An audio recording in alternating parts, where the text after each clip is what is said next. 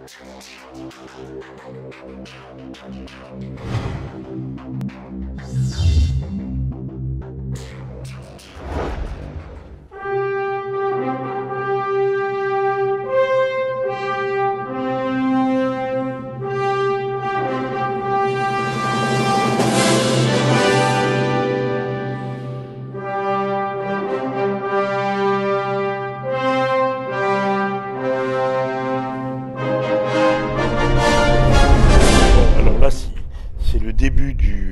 De l'alimentation durable dans l'île de Léron. Alors ce soir, c'est la première soirée avec un film zéro phyto, 100% bio.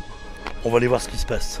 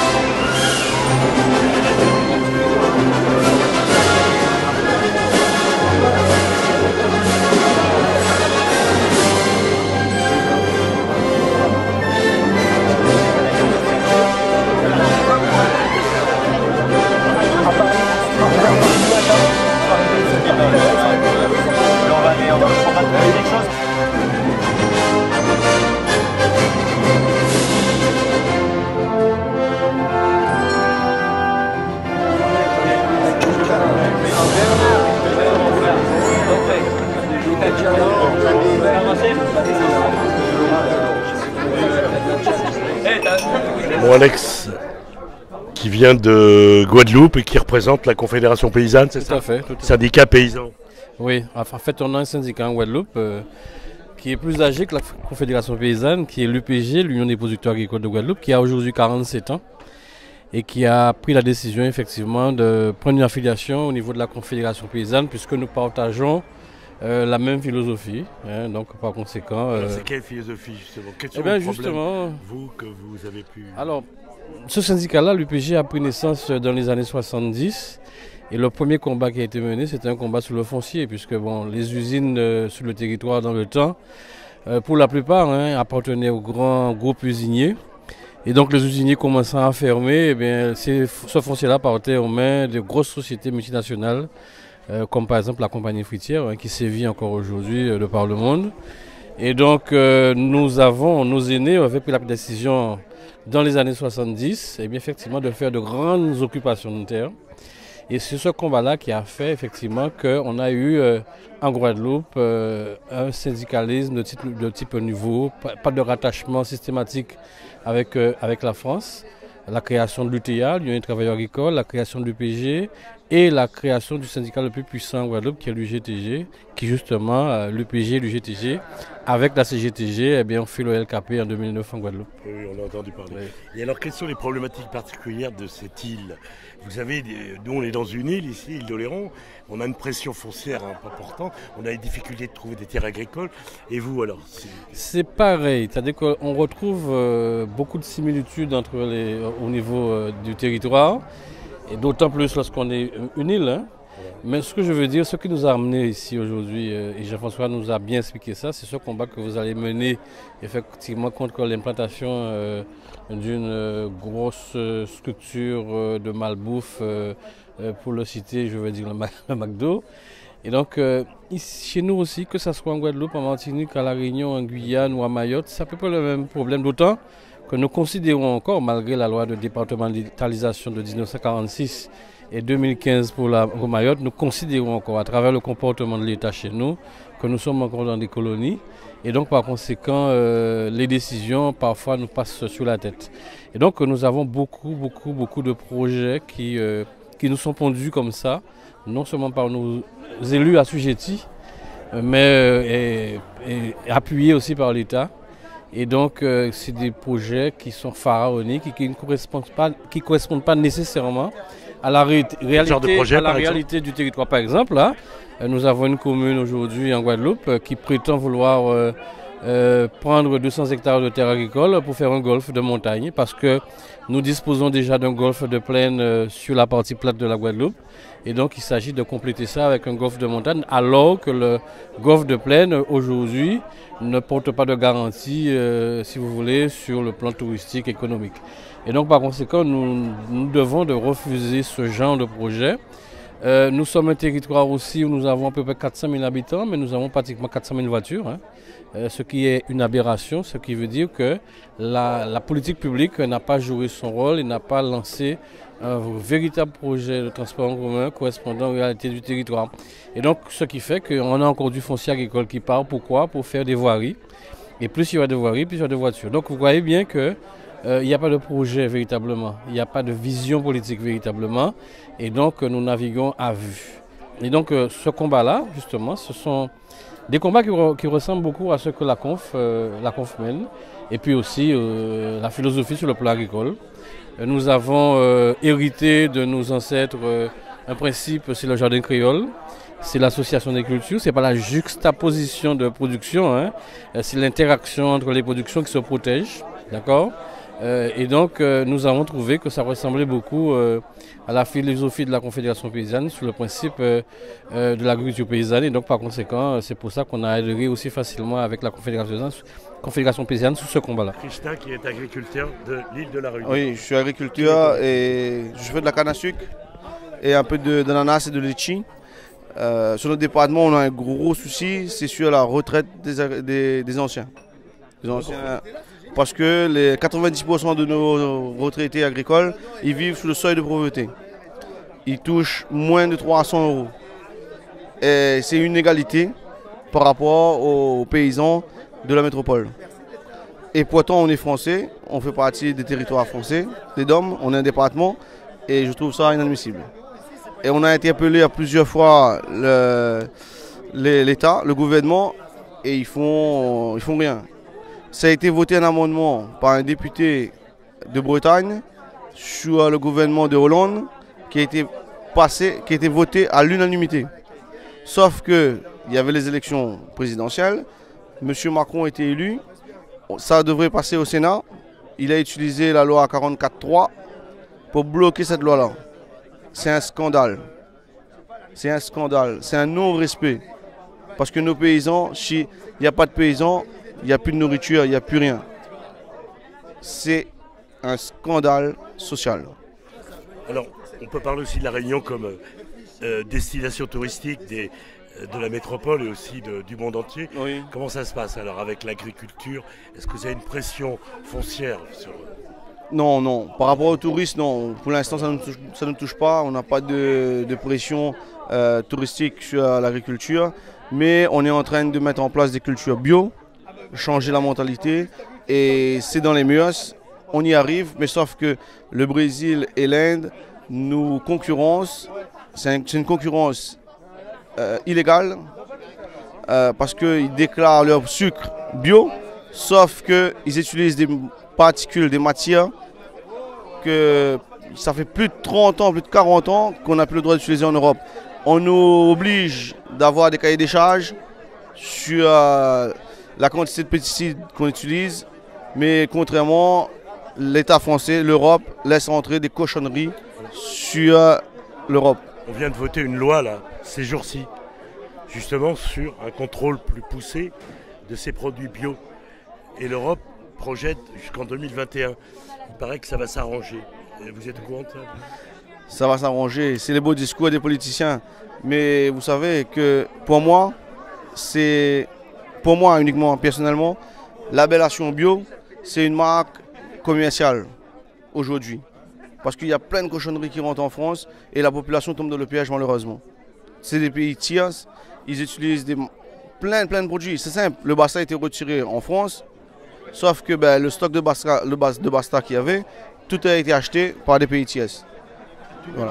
à tout agriculteur à Mayotte. Ça. Alors Mayotte, on entend parler, on voit la télé, il s'est passé beaucoup de choses.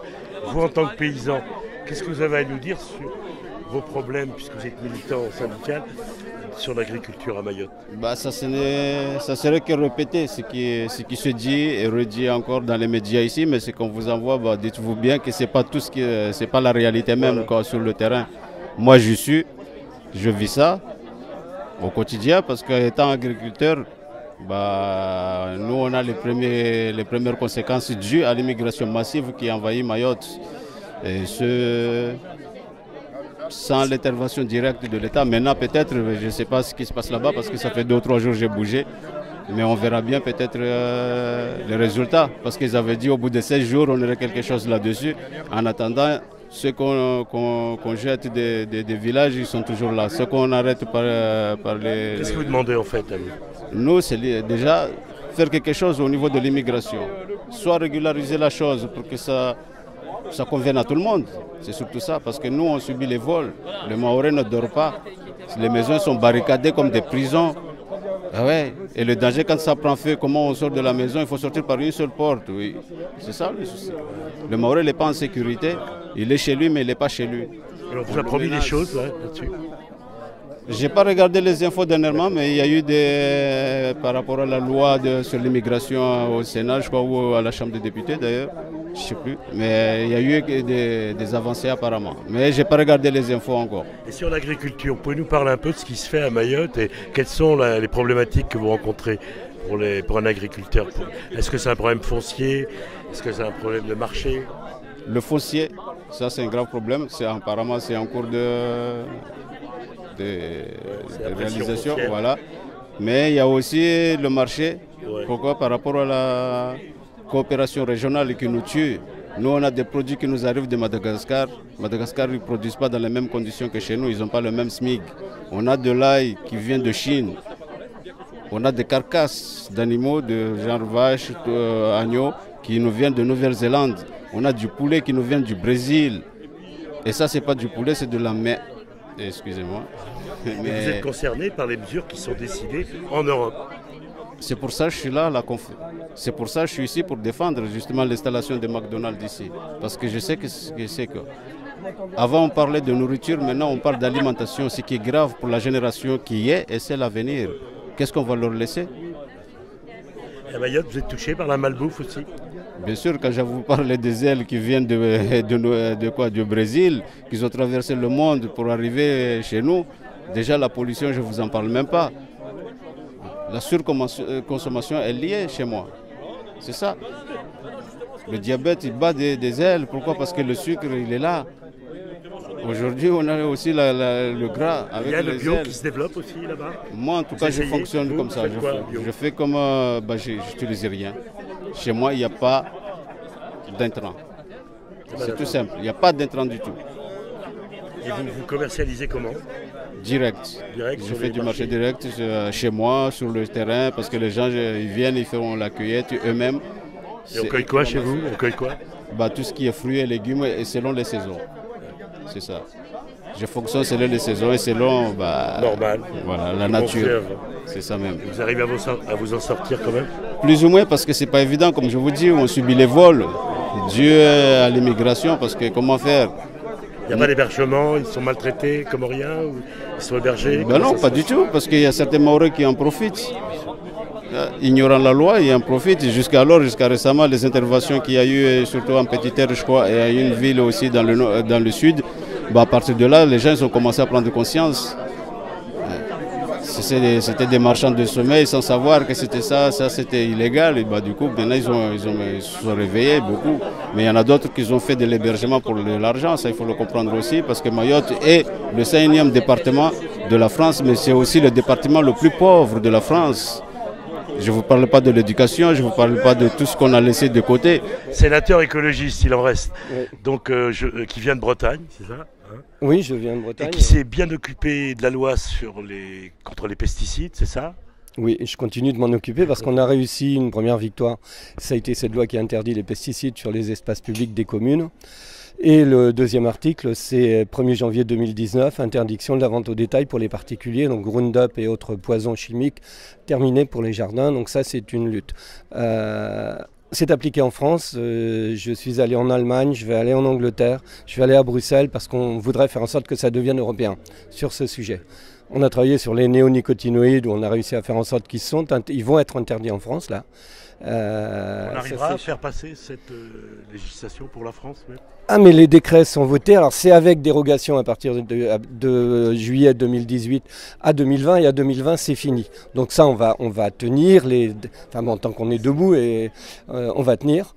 Euh, alors ensuite, les sujets sur lesquels je travaille, c'est l'huître. Euh, alors l'huître triploïde, justement, on est concerné. J'ai intervenu sur l'huître triploïde et l'huître naturelle. Ouais. où on en est Ça fait déjà combien de temps? Alors on en est que chaque année, j'ai commencé en 2012, euh, c'était Benoît Hamon qui était, qui était ministre, a lancé le premier débat sur l'étiquetage des huîtres et faire savoir aux gens que la moitié des huîtres sur les marchés étaient triploïdes. Donc, du vivant modifié, c'est ça? Tout à fait, vivant modifié, bidouillé, euh, avec impact sur le milieu euh, et, cause de, mortalité, on est obligé de le dire. Donc ce qu'on demande au moins c'est que ces produits-là soient étiquetés sur les marchés. À savoir, je travaille avec l'association ostréiculteurs traditionnels, il y en a de vers ici également, euh, pour, euh, que, qui eux, euh, d'une façon, claire, veulent continuer la manière traditionnelle d'élever l'huître, née en mer, captée en mer, et donc faire en sorte que leurs produits soient reconnus comme euh, naturel. Né, en mer. Est-ce qu'il y a assez d'informations pour le consommateur là-dessus? Non, y a, pour le moment, il n'y a pas assez de, de conservation. De... Euh. Merde, tout était bien jusque-là. tout était bien. Il n'y a pas assez d'informations sur le pour le consommateur. Non, bien sûr que Donc, est-ce que c'est une qui peut nous empoisonner? Empoisonner, c'est pas le mot, parce que euh, on peut pas dire que ça a des, des, effets sanitaires sur, euh, sur l'humain.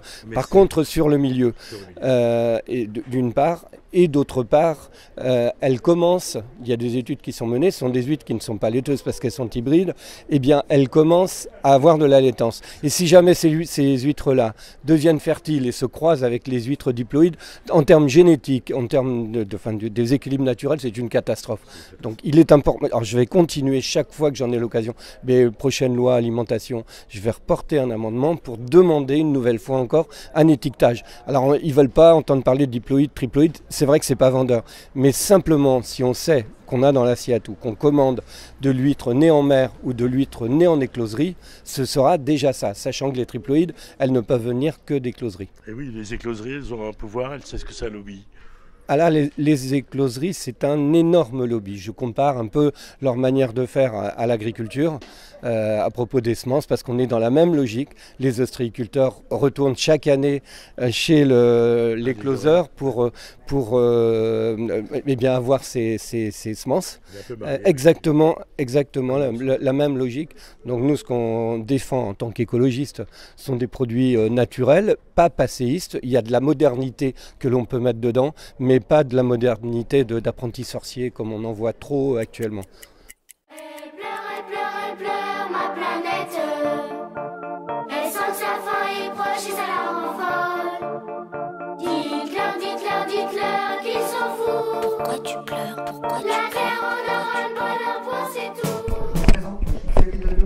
Restaurateur parisien et euh, je ne prends pas du tout la place de Grégory Jean qui ne pouvait pas être là tout de suite, mais qui sera là après pour la projection débat parce qu'il avait un autre truc à faire pour la préparation du printemps de l'alimentation durable qui se déroule, vous savez, demain et après-demain. Donc il sera là euh, après le film dans une heure et quart, grosso modo. Il sera là pour débattre avec vous, pour répondre à vos questions.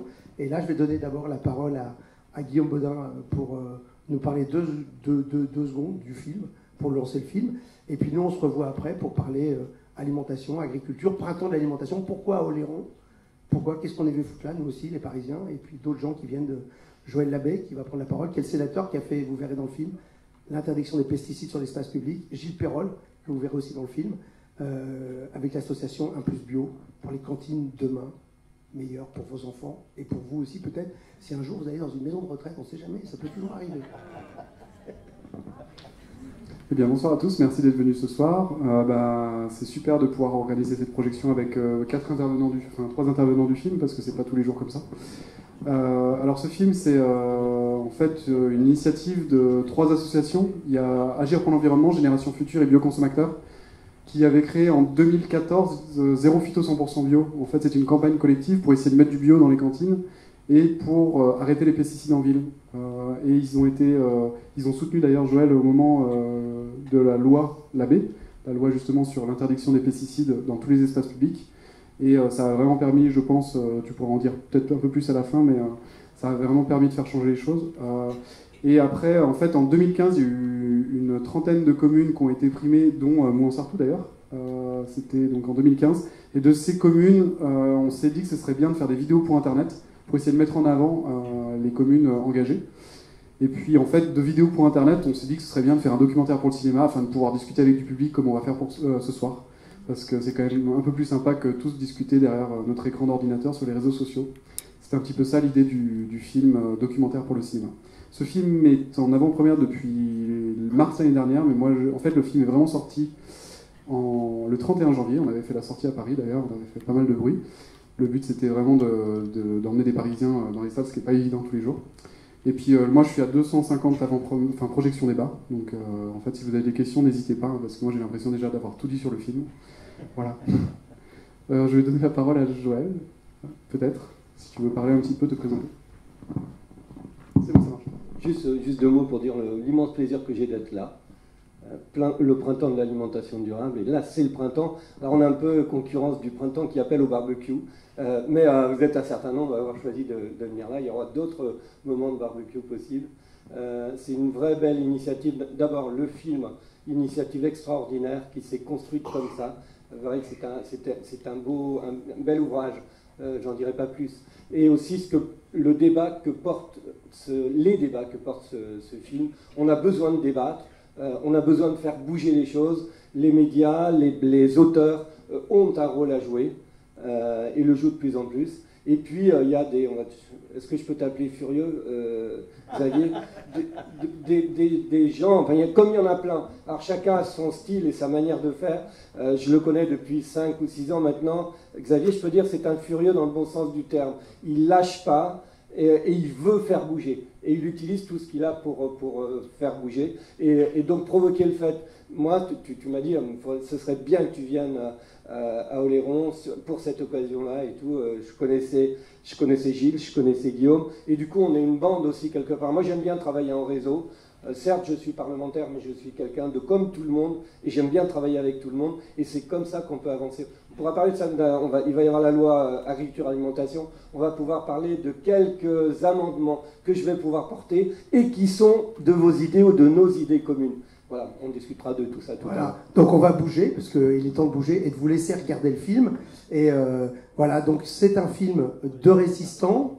On est, vous, avez, vous lirez dans Télérama cette semaine, super article qui, s'appelle Oléron, terroir de résistance de Virginie, euh, de Virginie Félix. Super article, je vous demande de, le lire et de partager et de venir nombreux demain d'en parler parce que je pense que c'est demain, il y aura plein de conférences, plein de choses, on en reparle tout à l'heure.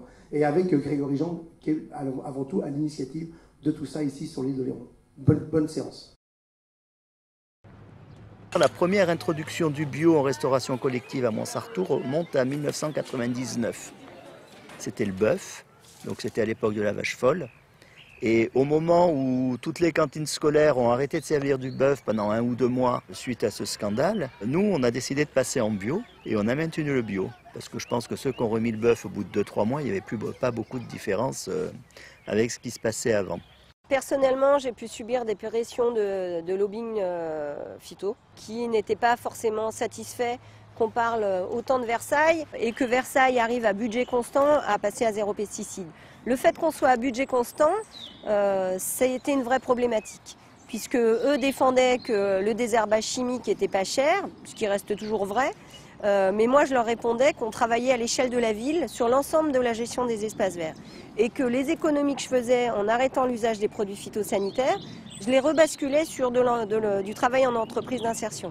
C'est pas il faudrait que, on pourrait prendre telle méthodologie, c'est telle commune, pour le faire, a fait comme ci, comme ça, ça s'est bien passé, Ça n'a pas forcément coûté plus cher, parfois même moins cher. Il y a un vrai envie, plaisir, fierté de l'avoir fait qui est véhiculé à travers les rencontres et les témoignages que l'on organise.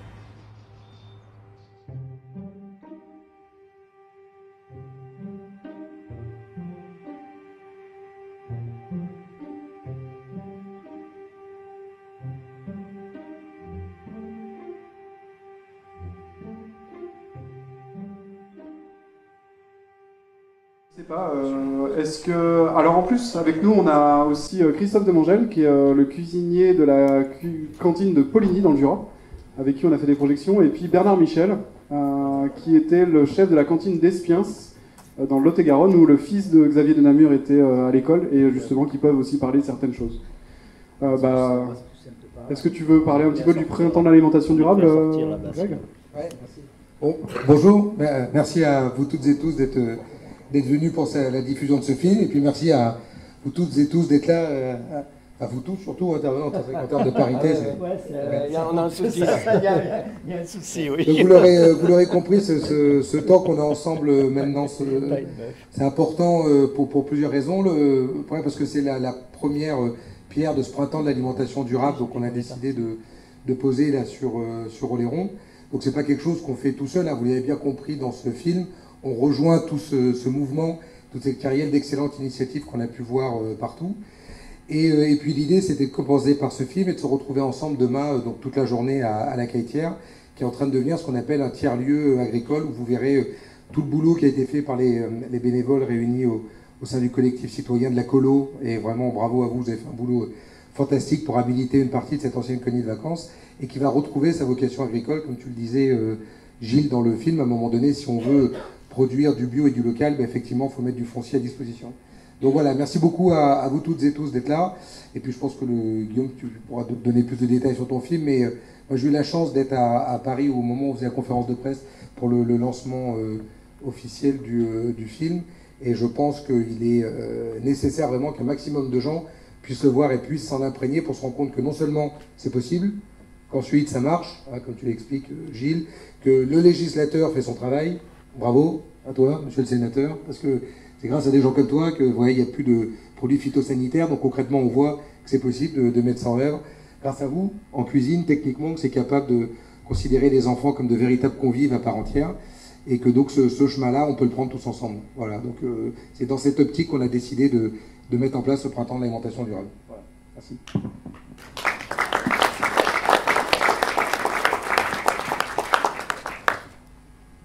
Vous avez des questions hein oui, Donc, l'idée, c'est de vous donner la parole aussi, parce que l'idée, ce sera ce, euh, ce film, que ce soit le film ou le printemps de l'alimentation durable, c'est un moment euh, de, euh, je dirais, il y aura des conférences, mais il y aura aussi des débats. Et l'idée, c'est aussi de vous donner la parole pour poser des questions, pour savoir vers quoi vous voulez aller, qu'est-ce qui vous intéresse, ou qu'est-ce qui vous dérange, ou qu'est-ce qui vous pose question, ou qu'est-ce que vous voulez qu'on puisse faire pour encore améliorer les choses. Il y a beaucoup de choses à faire pour encore changer les choses. Il y a euh, Joël Labbé va, vous en parler peut-être tout de suite si vous n'avez pas de questions. À propos, dans la loi alimentation-agriculture, qui est en ce moment en train d'être euh, dans les commissions, c'est ça Joël, euh, il y a des sujets importants. et visiblement, le gouvernement, ceux qui nous dirigent, n'ont pas toujours, prennent pas toujours forcément la mesure de ce qui est nécessaire pour notre avenir, pour votre avenir, pour l'avenir de nos enfants. Alors, Joël va peut-être, peut-être, si vous, à moins que vous ayez une question tout de suite. Ah, une question. Attendez-moi un micro. Vas-y. D'abord les questions. c'est mieux.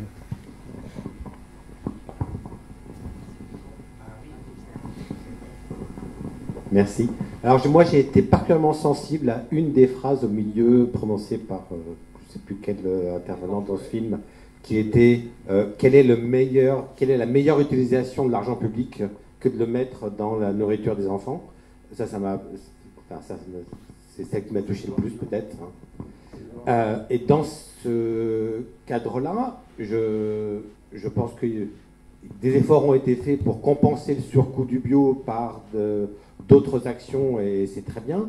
Euh, il reste néanmoins que ces autres actions auraient pu être faites sans passer en bio et puis auraient pu générer des économies. Il y a effectivement un surcoût lié au bio. Ma question, c'est est-ce que euh, euh, ces quelques communes qu'on a vues dans ce film, qui sont passées en 100% bio dans les, euh, dans les cantines pour les enfants, est-ce que c'est généralisable? Est-ce que 100% des communes de France pourraient être 100% bio? Et à quel terme? Qu'est-ce qui s'y oppose? Euh, Et à quand est-ce qu'on aura une loi qui, oblige les cantines à être, à être bio? À quel point ce qu'on a vu dans ce film est généralisable au territoire national dans sa totalité? Gilles je peux, je peux répondre au-delà de l'exemple de Montsartou, où je suis élu, que vous avez vu dans le film. Je suis, je suis président d'Un Plus Bio qui est un club des territoires plus bio qui regroupe donc euh, euh, une petite centaine de collectivités, euh, alors des, petites collectivités, des très grandes, hein, parce que ça va jusqu'à Paris, les départements, des régions, qui ont envie d'avancer sur, sur, le bio. Donc moi, moi, je suis convaincu que, alors on faut être réaliste, dire passer du jour au lendemain un ensemble des cantines, en 100% bio, c'est pas possible. Par contre, se mettre comme objectif final. C'est pour ça que moi je ne suis pas un grand défenseur de, la loi actuelle, parce que d'abord je ne suis pas convaincu que la loi fera bouger les choses. Et si on met 20% de bio dans la loi, ça veut dire qu'on va s'arrêter à 20%. Pour moi, c'est un contre-message. Mais j'aime bien parce que je l'asticote et après, il va, en tant que parlementaire, c'est normal qu'il réagisse. Euh, mais moi, je suis convaincu que j'avais fait un calcul au moment de, la loi de Brigitte Alain, il fallait 80 000 hectares euh, de surface agricole pour produire les légumes de l'ensemble de la restauration collective française, les 3 milliards de repas euh, annuels. 80 000 hectares, c'est pas grand-chose euh, sur, la surface, sur la surface agricole. Donc, je suis persuadé qu'en en 5 à 10 ans, la France a la capacité de passer l'ensemble de la restauration collective en bio. S'il y a une volonté politique et une volonté des, décideurs, c'est tout. Hein, je veux dire, c'est pas. Euh, nous, à Montsartou, euh, on n'a pas, il n'y a pas d'agriculture pratiquement dans les Alpes-Maritimes, donc on a trouvé la solution. On a fait la régie agricole. On se fait voilà, il faut, faut, être inventif, trouver des solutions et, c'est tout. Alors, et, le, budget, alors c'est vrai que le bio est un peu plus cher à l'achat, mais un plus bio, on a sorti un observatoire de la restauration euh, bio au mois de novembre dernier sur 2300 cantines, c'est quand même un échantillon important.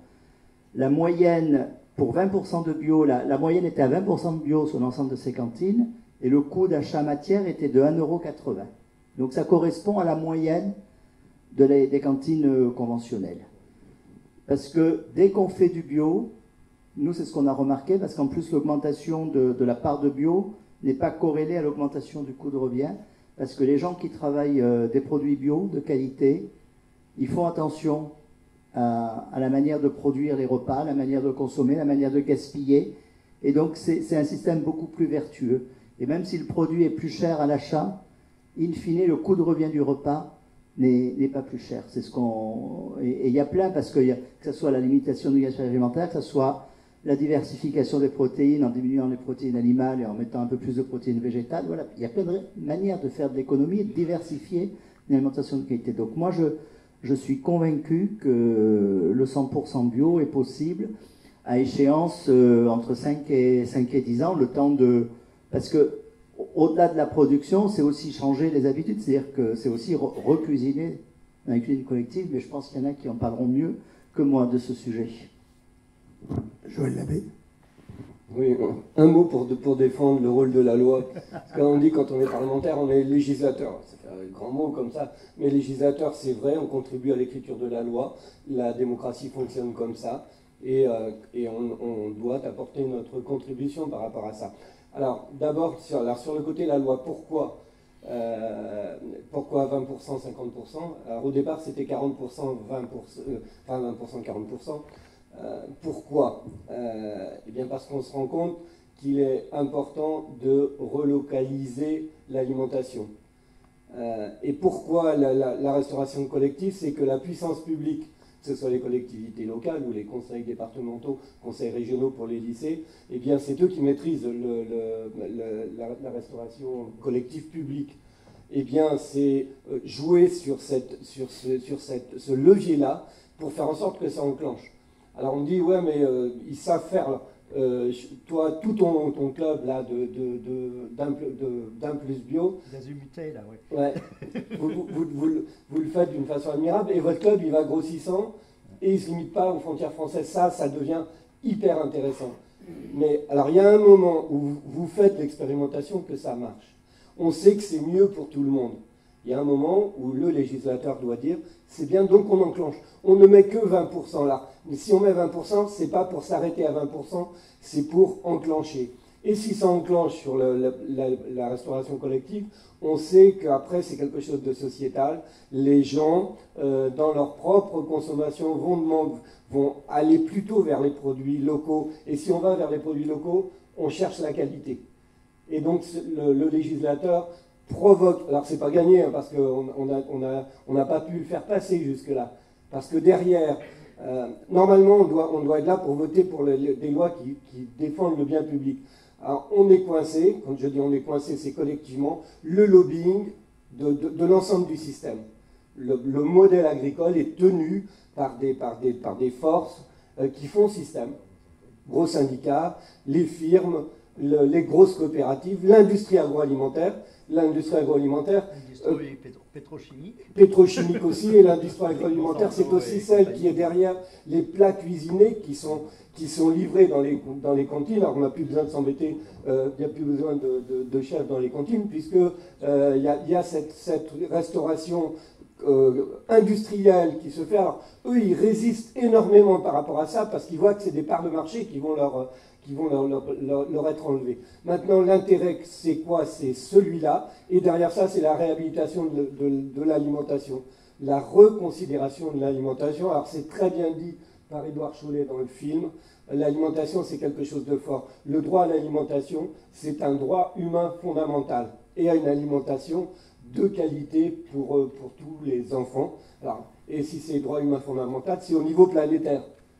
Là, il y a beaucoup, beaucoup à faire, mais commençons par faire chez nous. Et alors, il y a des, il y a des, il y a des belles choses qui sont déjà en route.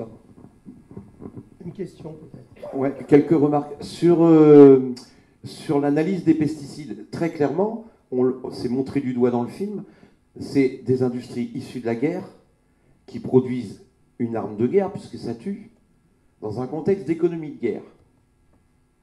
Et là, le paysan, il faut qu'il fasse avec. Je ne sais pas si vous avez remarqué, mais la conf n'est pas euh, partenaire du film, parce que le titre en lui-même pose aussi question. Euh, zéro phyto, 100% bio, euh, nous, à la conf, on a l'habitude d'essayer de... Alors, sur le fond, il n'y a aucun souci. Mais par contre, aujourd'hui, nous, on alerte très, de manière très ferme sur le développement actuel du bio, qui n'est plus qu'un strict cahier des charges. Il n'y a plus aucun lien avec la terre. Je vais vous donner juste deux exemples. Des tomates hors sol en bio, ça peut exister. On a un règlement européen bio sur les coquillages où c'est écrit très clairement que dans l'approvisionnement en essaims d'huîtres, règlement bio, hein, seront privilégiés les naissins sélectionnés pour éradiquer l'espèce sauvage parce qu'elle est classée invasive. Et ça, et les bio là-dessus, on les interpelle, la FNAB, etc., ils n'ont aucune réaction là-dessus. Donc, moi, et, donc, pour nous, l'important, c'est quand même qu'il y ait de multiples paysans. Parce que c'est la vie des campagnes, et, c'est tout ce qui va avec, bah, pour vous, les maires, les services publics, les, les petits commerçants et tout. Ça, c'était une chose. Et juste un petit témoignage. Donc j'ai participé avec un des, intervenants du film aux États généraux de l'alimentation. J'étais dans l'atelier 8, juste pour que vous ayez une petite idée de ce que Macron vous a pondu. C'était depuis fin août jusqu'à... C'est pas fini, puisque là, on écrit les amendements, on participe, nous, syndicats agricoles, à écrire les amendements avec vous, les députés de, de, tous les partis. L'atelier 8, c'était comment garantir une alimentation saine, Saine, ça voulait dire sanitairement saine, d'accord L'organoleptique, euh, la qualité nutritionnelle, on s'en fout, c'était mon atelier, c'était ça. Dans un contexte de guerre économique et sous le, développement du dérèglement climatique. ok? 12 réunions, 58 personnes par réunion, des réunions d'une demi-journée. Juste pour vous donner une petite idée, la première réunion, on a une intervention, puisqu'on nous décrit un peu, euh, on nous fait le, le constat de l'existant. Donc on a une intervention de l'Agence euh, nationale de la santé qui nous décrit tous les agents pathogènes possibles et imaginables dans l'alimentation. Super intervention qui dure trois quarts d'heure, sauf une chose. Jamais elle a cité les phytoplanctons. Tout ça pour aller droit au but. Le premier aliment de l'être humain, c'est l'eau. Jamais dans les états généraux, on a parlé de l'eau. Par contre, le fait que pour une fois ait été mis autour de la table des paysans et des collectifs d'associations citoyennes, France Nature Environnement, UFC Que Choisir, enfin voilà, du coup des consommateurs, ça, ça a été intéressant. Parce que pour la première fois, ce n'était pas des débats agricolo-agricoles. Et on a, on, on a avancé sur notre atelier qui était quand même pas évident vu euh, le, le syndicat qu'on a en face de nous. On a avancé sur des consensus, on a parlé du glyphosate, on a parlé des OGM, on a parlé des règles sanitaires, enfin, des, et, c'était dans la colonne consensus, hein, euh, du problème des accords de libre-échange par rapport aux règles sanitaires européennes, qu'il fallait pas aller vers le moins 10 ans, etc. Donc, nous, on était plutôt contents du travail fourni dans les ateliers au bout de ces six mois de travail. Aujourd'hui, les amendements, il y en a je ne sais pas combien, euh, Joël, plus de 1000, enfin j'en sais rien, c'est de la grande folie. C'est de la grande folie. Et très clairement, on a affaire aujourd'hui à un ministre de l'Agriculture inexistant, mais comme d'habitude, le ministre de l'Agriculture aujourd'hui s'appelle Christian Lambert. On a, rem- on a remplacé Xavier Belin par Christian Lambert. Euh, ben, la porte-parole de la, de, de- de la FNSEA. Tout simplement. C'est pas la une- présidente. Hein? Présidente, non Président, oui, nous on a un porte-parole, ils ont un président. Donc voilà, on est toujours dans cette congestion, quels que soient les gouvernements en place, euh, politiquement, je veux dire de la couleur politique, depuis la sortie de la guerre, et c'est historique, puisque c'est l'État qui a créé le syndicat agricole pour avoir un interlocuteur, et on est toujours dans cette fameuse congestion.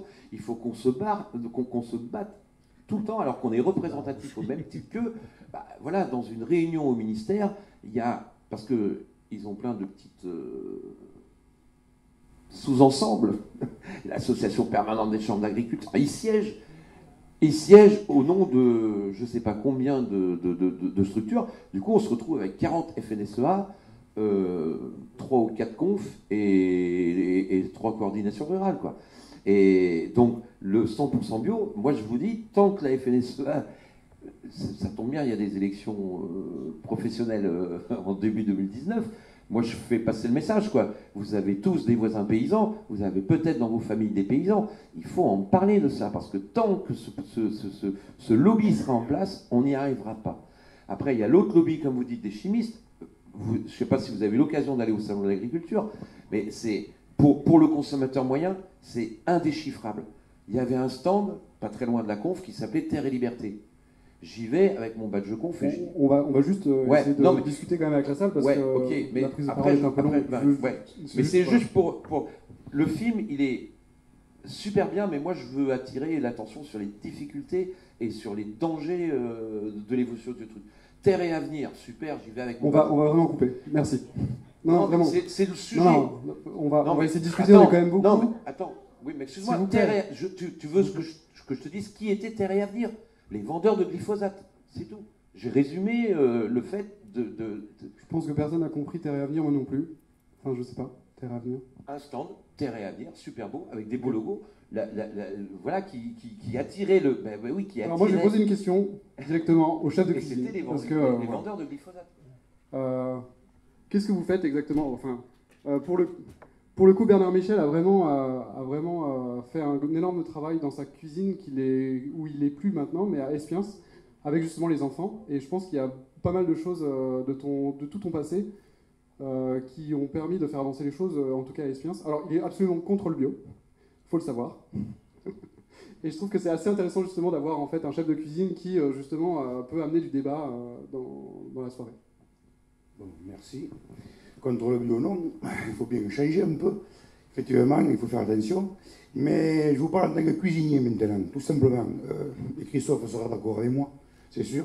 Il faut déjà trouver une personne passionnée. Parce que si on vous impose, moi on peut m'imposer, je veux dire, on vous imposera 100% de bio. S'il est mal fait, le bio, il finira à la poubelle comme le reste. Il faut qu'il y ait le professionnel qui met tout, tout en œuvre pour que la qualité, elle y soit. Et c'est le beurre de qualité, c'est la crème de qualité, c'est la cuisson pointue, et ainsi de suite, tout comme ça. Donc imposer à des gens qui n'ont rien à faire, qui font la cuisine encore aujourd'hui en collectivité, et c'est les trois quarts, je pense, qui sont, qui sont euh, cuisine collective, mais sans passion et sans amour, ça ne donnera rien du tout. Il faut vraiment trouver des passionnés, des gens qui aiment leur métier, qui la mettront en valeur tous les produits. Et là, on gaspille rien, et on n'a pas besoin d'aller, on n'a pas besoin d'aller les stimuler quoi que ce soit. Naturellement, ça viendra. Moi, quand je faisais de la truffe euh, à la cantine, pendant une semaine, hein, tous les ans, on m'en a donné la truffe, parce que le président des trufficulteurs, il était invité à manger à la cantine, il voyait ce qu'on faisait, ça lui faisait plaisir.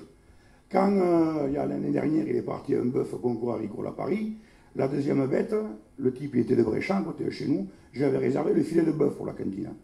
Et sa, vache, elle, a- est finie première. Et j'ai eu droit au, au filet de bœuf de la deuxième vache. Parce qu'elle ne parte jamais seule. Et ainsi de suite. Je veux dire, on n'a pas besoin, on ne va pas venir me dire, il y a un cahier des charges à respecter, et tu feras comme ça, ainsi de suite. Non. Il faut que la personne, le cuisinier, ce soit vraiment euh, quelqu'un qui, qui aime son métier. Et Christophe, bon, il est le bon exemple. Moi, je me faisais manger 50, lui en fait manger 500.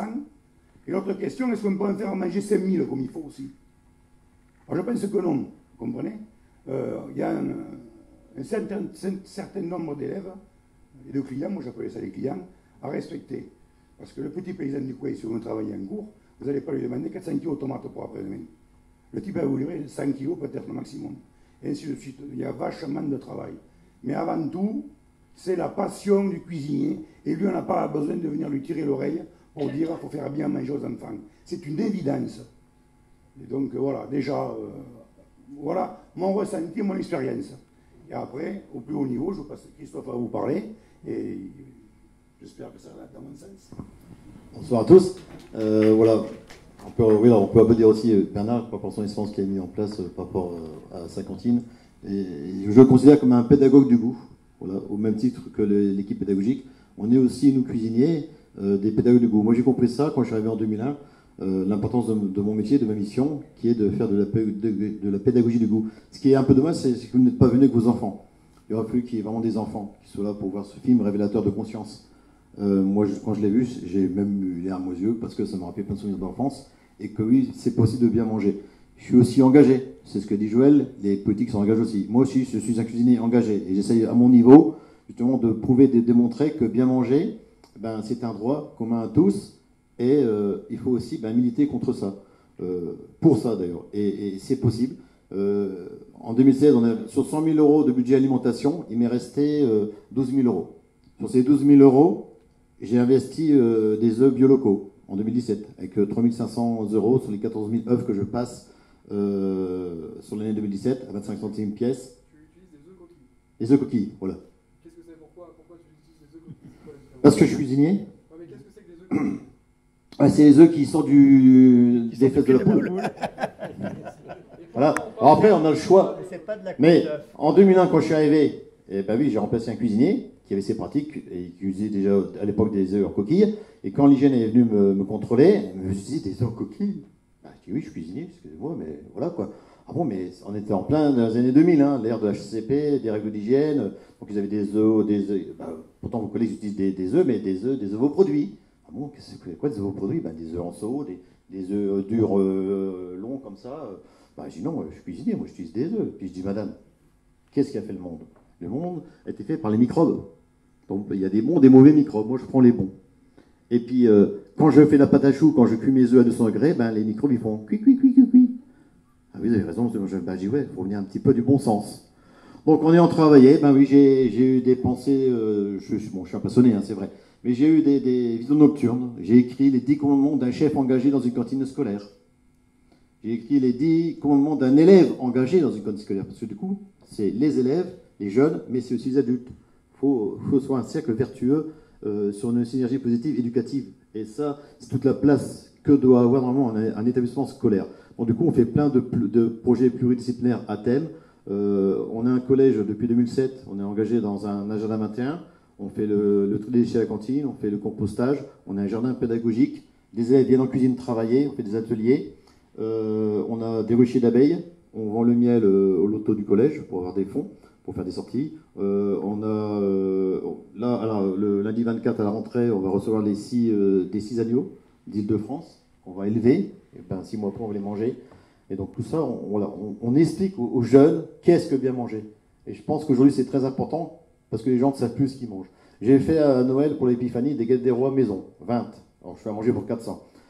Maison de A à Z. Et j'ai acheté aussi des- des 20 euh, euh, des Rois industrielle. J'ai affiché les produits. J'ai mis le coup de revient.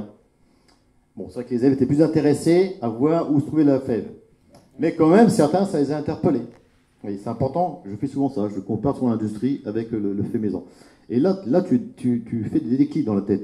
Et quand euh, Guillaume est venu justement euh, à la cantine avec Xavier pour la projection du, film que vous avez vu ce soir, après il y a eu un débat avec euh, 120, 120 élèves.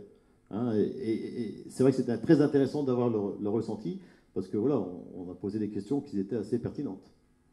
Si tu veux en parler Il y avait, une, question justement des élèves, euh, il y en avait deux dans la salle sur les 120 ou 150, je sais plus, euh, qui militaient pour avoir le jour euh, où tu fais deux jours par semaine, euh, deux jours par mois de végétarien.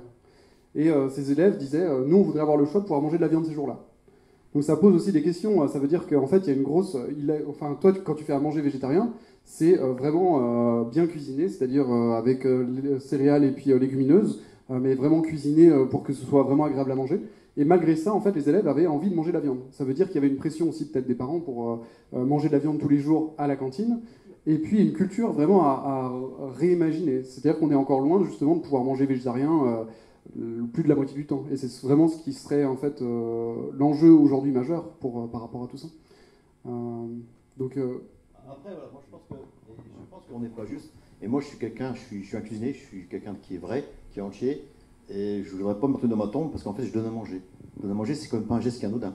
C'est comme depuis euh, le ventre de la maman, hein, in vitro, et après ben, la famille jusqu'à 7 ans. Les goûts se, se construisent jusqu'à 7 ans, et après ben, c'est dans les cantines scolaires. Donc il faut vraiment qu'il y ait, je pense, un enjeu politique. C'est en cours, c'est en marche, on pourrait dire. J'espère que ça va aller loin et qu'on va plus aller en plus euh, dans, dans le mouvement, dans l'air du temps. Parce que nous, les cuisiniers, on est prêts et on est engagés. Moi, j'ai créé un collectif de 40 cuisiniers euh, sur toute la France, sur les réseaux sociaux. Pour ça, c'est vraiment très bien.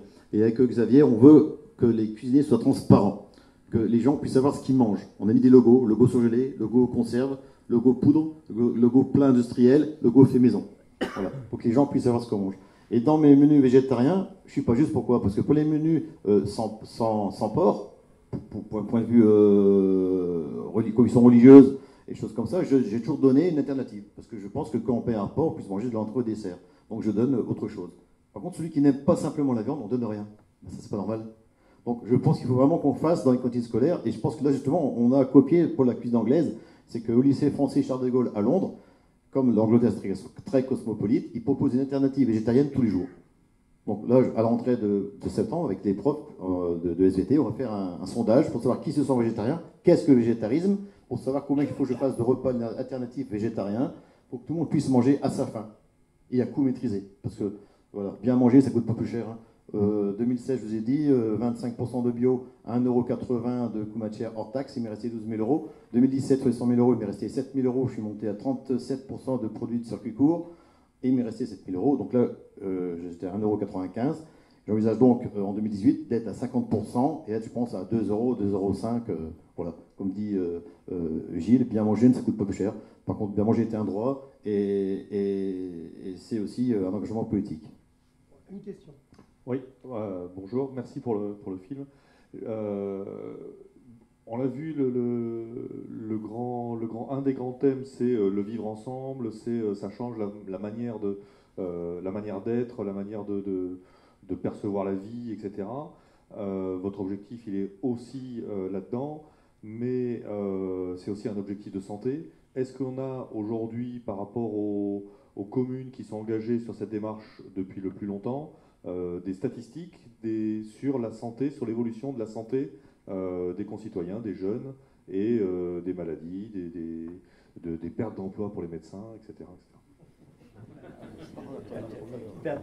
On en parlait, on en, parlait en, en dînant tout à l'heure. des- Attends, je, attends, je te, je te donne la parole de Oui, Gilles, tout à l'heure, parce que demain je suis encore à la radio, et le, le grand slogan, enfin ce que me posent les médias, c'est toujours dire oui, mais attention, parce que ici, vous savez, il y a une espèce de truc avec un grand M euh, qui, va, qui devrait s'ouvrir ou qui voudrait s'ouvrir. Bon, ça on verra bien plus tard, mais en disant, ils, vont- ils vont créer 30 emplois. Et vous, qu'est-ce que vous avez créé? Alors moi, toujours je dis oui, mais c'est. Il y a de l'écotourisme, il y a plein de trucs, c'est sur le long terme. Et Gilles dit mais non, mais non, ils en créent beaucoup plus. Les médecins, les infirmiers, et puis on n'oublie pas les croque-morts plus. Voilà. Donc je redonne la parole à Gilles, effectivement. Il a de l'humour. Non, non, l'enjeu santé est effectivement extrêmement présent. Euh, on n'a pas d'études précises malheureusement sur les cantines euh, qui, qui donnent du bio, mais c'est très compliqué à mettre en, place une étude épidémiologique. Ceci dit, il y en a une qui se prépare avec euh, Gilles-Éric Serranini, qui, euh, qui, va, euh, et M plus Bio sera partenaire. L'idée, c'est de comparer deux cohortes. Une cohorte d'enfants qui mangent 100% bio, donc qui mangent aussi entièrement bio à la cantine, et une cohorte d'enfants qui ne mangent pas bio ni à la cantine ni, euh, ni à la maison, et essayer de voir ce que ça donne en termes de, de traces de, de, pesticides. Maintenant, euh, les études épidémiologiques, c'est sur, euh, sur du très long, il faut suivre des cohortes sur très longtemps. C'est très compliqué à mettre en place. Donc, on, ceci dit, il y a quand même un, un, faisceau de reconnaissance du danger de, des, des pesticides dans l'alimentation. Des études, il y en a des, centaines dans, le monde qui montrent bien que ce soit euh, au niveau des produits cancérigènes, au niveau des neuroperturbateurs, etc., qui a, euh, qui a des risques. Et l'explosion, euh, en France, on a passé le cap des 1000 cancers détectés chaque jour. Et euh, il y a forcément des causes environnementales, et dans les causes environnementales, des causes de l'alimentation. Donc pour moi, le lien y est. Après, juste pour rebondir aussi à, ce que tu disais euh, sur le, ministère de la Santé, on est en train aussi de passer un cap au niveau du message euh, du ministère de la Santé, puisque euh, l'ANSES, euh, en fin d'année 2017, le Haut Conseil de la Santé publique, dans la foulée, et la préparation du nouveau plan national nutrition santé font évoluer euh, déjà le mot alimentation biologique apparaît. C'est la première fois que dans un document euh, qui émane d'un ministère, il est recommandé de manger du bio. Et euh, le PNNS 4 prévoit que pour l'ensemble de la population, et là on n'est plus sur les cantines, en 2022, on, euh, que la consommation représente 20% de produits bio sur les fruits, légumes, les céréales et les légumineuses pour l'ensemble de la population. C'est, moi, quand j'ai lu ça, je suis tombé sur le cul, comme on dit, parce que euh, j'aurais jamais imaginé que ça aille si vite, même si l'ANSES et le Haut Conseil de la Santé publique le recommandaient, que ça se retrouve dans le PNS 4 écrit comme ça, euh, c'est quand même, euh, je pense qu'il y a une vraie prise de conscience. Parce que le, les citoyens, quand on voit les sondages de l'agence bio, c'est clair, hein, les gens attendent du bio partout. Euh, on ne le voyait pas trop dans les recommandations nationales, et là ça apparaît fortement. Et, effectivement, il ne faut pas qu'on tombe dans la dérive du bio, et tout, le bio ne se vaut pas, mais euh, tous les pesticides se valent, donc il faut quand même plutôt aller vers, le bio. Alors, merci euh, Joël, on va donner une autre question. Juste pour répondre sur une, une, une, chose, enfin juste pour vous dire quand même, que effectivement, si les pesticides, etc., ont une incidence, la nourriture, et on l'a vu, vous avez dû voir peut-être des, des, des, des, des, petits, des petits modules sur France Info, etc., ce sont les aliments ultra transformés ouais. qui sont cause d'énormément, d'énormément de maladies. Alors, euh, parce qu'il y a trop de sucre, trop de sel, trop de gras, mais trop d'additifs. Et donc c'est là où on se retrouve dans cette nourriture ultra industrialisée qui pose réellement problème. C'est-à-dire que aujourd'hui, on le sait, il y a des études qui l'ont montré, etc. Et donc c'est là où c'est là où il faut changer. Alors cuisiner, euh, euh, bah, c'est cuisiner, donc il faut former les gens. Donc c'est un vrai problème dans ce pays. Moi, je suis restaurateur, on a beaucoup de mal à trouver du personnel. Et donc former dans les cuisines collectives du personnel à retravailler des produits frais et de que les gens réapprennent, que les enfants, parce que c'est de là que va repartir, on réapprenne à cuisiner des choses simples mais il faut arrêter tout ce qui est additif, trop de sucre, trop de sel, trop de gras. Vous voyez, vous avez toujours ces pubs en bas des, des, des, des, des, des comment s'appelle des pubs d'ailleurs du gouvernement. Enfin, c'est pas une pub, c'est comment ça s'appelle C'est des pubs alimentaires avec un message. Euh... Voilà, le message qui dit attention, mangez moins gras, moins sucré et tout ça. Bon, enfin, en principe, quand vous voyez ce produit, il faut effectivement, faut l'éviter. Mais euh, les enfants ne le savent pas, donc il faut, enfin, il faut vraiment éduquer. On repart de la base, c'est qu'il faut éviter de manger des produits ultra transformés. Et ça, c'est pour ça, il faut, euh, il faut, s'y remettre, il faut se remettre au fourneau. Voilà. C'était juste pour vous dire ça. C'est vraiment un message. Je crois c'est le plus basique. C'est de faire ses courses, de faire les marchés. Ici, vous avez sur l'île d'Oléron, vous avez de la chance d'avoir des supermarchés. J'en ai fait plusieurs.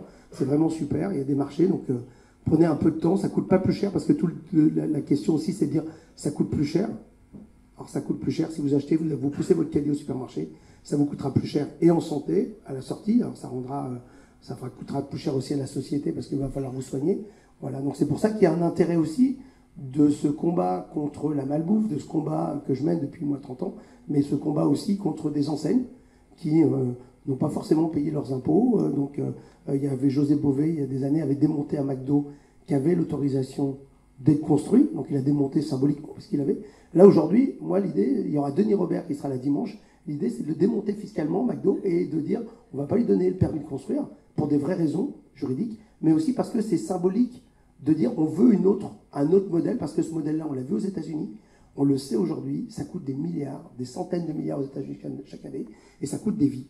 Et ça, c'est un vrai problème. Donc il faut euh, changer de modèle, et changer de modèle, ça veut dire euh, d'être un peu radical. Moi, on me dit souvent, je suis un peu radical, radical.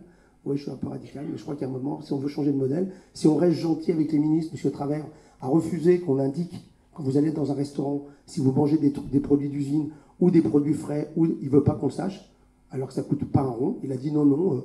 Euh, euh, le prétexte c'était euh, il y a déjà assez de réglementations. Alors les réglementations très complexes, ça il les laisse. Et celles-là qui coûtent pas un rond, parce qu'il s'agit juste d'obliger tout le monde d'indiquer quand vous mangez, je sais pas si vous allez manger des nuggets, j'en ai mangé tout à l'heure au restaurant Les Alizés, c'était très bien. C'est fait maison, c'est indiqué.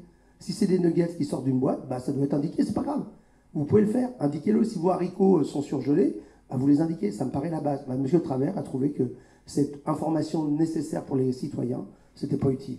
Bon, moi je trouve les ministres comme ça, on devrait s'en passer. Je donne la parole. Bon, merci. Euh, étendre le bio, ben voilà, c'est ce qu'on veut, bien sûr.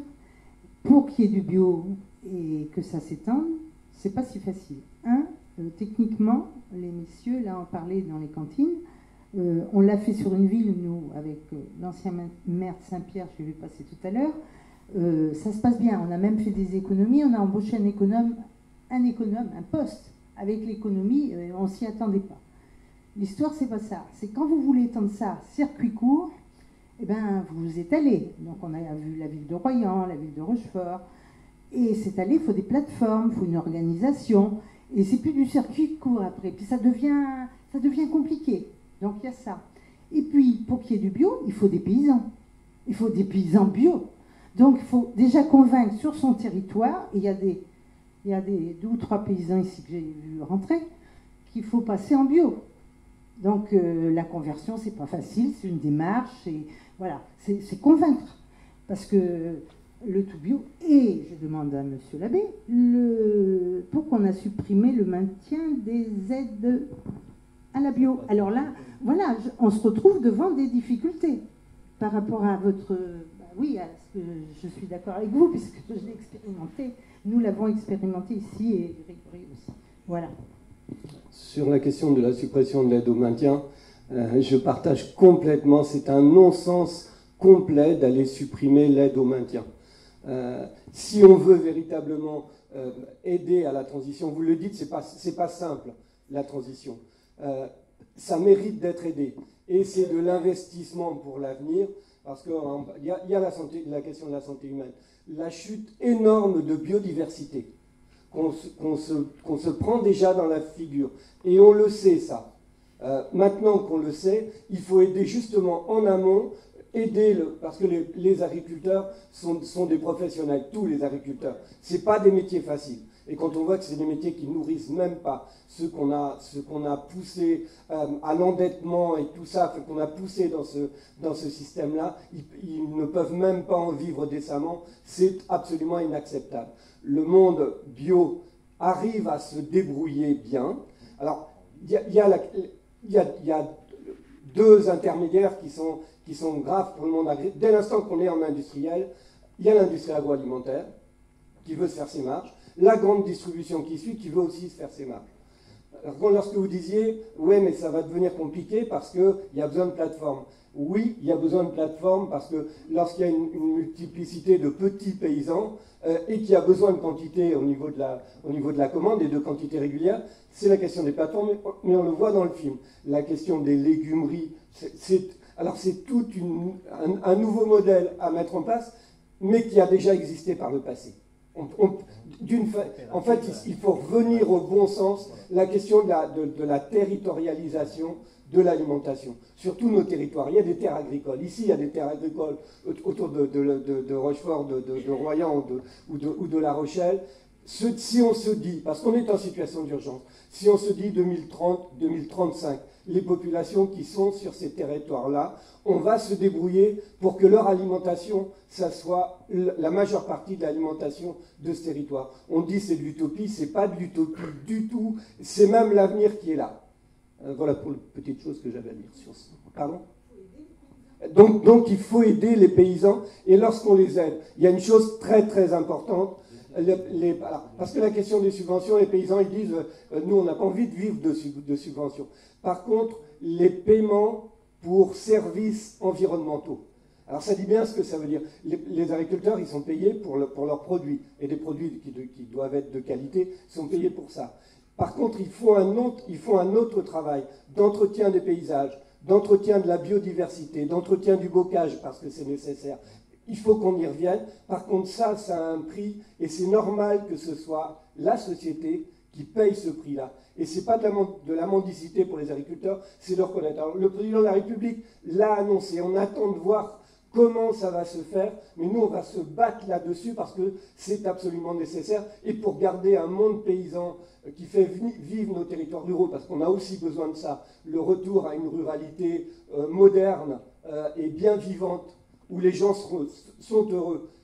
et il y a plein de gens qui, enfin, qui disent que la ruralité, c'est le, désert. En fait, le, bonheur de vivre, on le trouve dans la ruralité. Et donc, c'est tout un En fait, en gros, c'est 60 ans d'une erreur de l'histoire, parce que c'est une erreur de l'histoire, les, 60 dernières années, où on a complètement dérivé. Il y a eu plein de progrès, et si on prend les bons côtés du progrès, mécanisation, pas la super mécanisation, mais la, mécanisation adaptée, c'est drôlement du progrès dans le monde agricole. Et ce côté-là, il n'est pas dérangeant. Par contre, c'est tout ce qui est chimique, tout ce qui est... Et puis le, le système, alors j'y reviens toujours, parce que je vois en tant que politique, comment sur les collègues, ils influent sur les partis politiques, sur les ministères, ils sont partout, c'est tout un système. Et, je suis d'accord avec euh, ce que tu disais, euh, la, j'allais dire la ministre de la FLSEA, lapsus, euh, c'est de, la, de la co-gestion depuis toujours, et ça c'est absolument anormal, on n'arrête pas de le dire, il va bien falloir. Là, la, question des, des États généraux, c'était intéressant, mais qu'est-ce qu'il en reste? Pas grand-chose. On a les amendements. Je vais, je vais, vous en parler de trois ou quatre simplement, parce que notre rôle par, par les amendements, c'est d'essayer de faire avancer les choses dans le bon sens.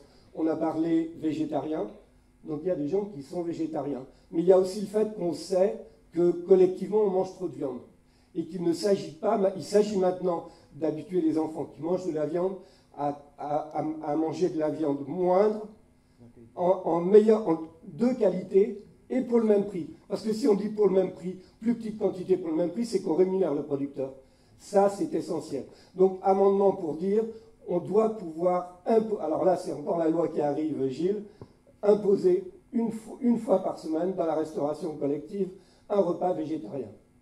Les, gamins vont pas en mourir, ils vont s'habituer. En fait, végétarien, c'est pas si mal. Après, c'est les parents qui vont être plus dérangeants. Je sais, je vais le défendre avec force et je ne serai pas tout seul. Je sais qu'on n'aura pas de majorité. Par contre, le débat, on va le provoquer. L'autre amendement sur le végétarien, c'est de dire il y a des enfants qui sont de famille végétarienne. Alors, on n'a pas le droit de dire, ben oui, donc on te met les légumes, on ne met pas la viande. Ça, ça ne tient pas. C'est qu'il doit y avoir une alternative végétarienne cuisinée, pour comme on le fait pour les, à propos des religions, parce qu'on le respecte. Donc ça, c'est à, mettre en place. Euh, il y en avait de, euh, oui, non, il y en a un paquet d'amendements. Il, il y en a un autre qui me vient. Euh, il, est, il, est, lié à l'histoire, à cette histoire. On a interdit les néonicotinoïdes agricoles. Je discute avec les patrons de l'enseigne botanique. on ne vend plus les colliers pour chiens et chats maintenant. Il y a des alternatives parce qu'ils sont bourrés de néonicotinoïdes. Personne n'en parle.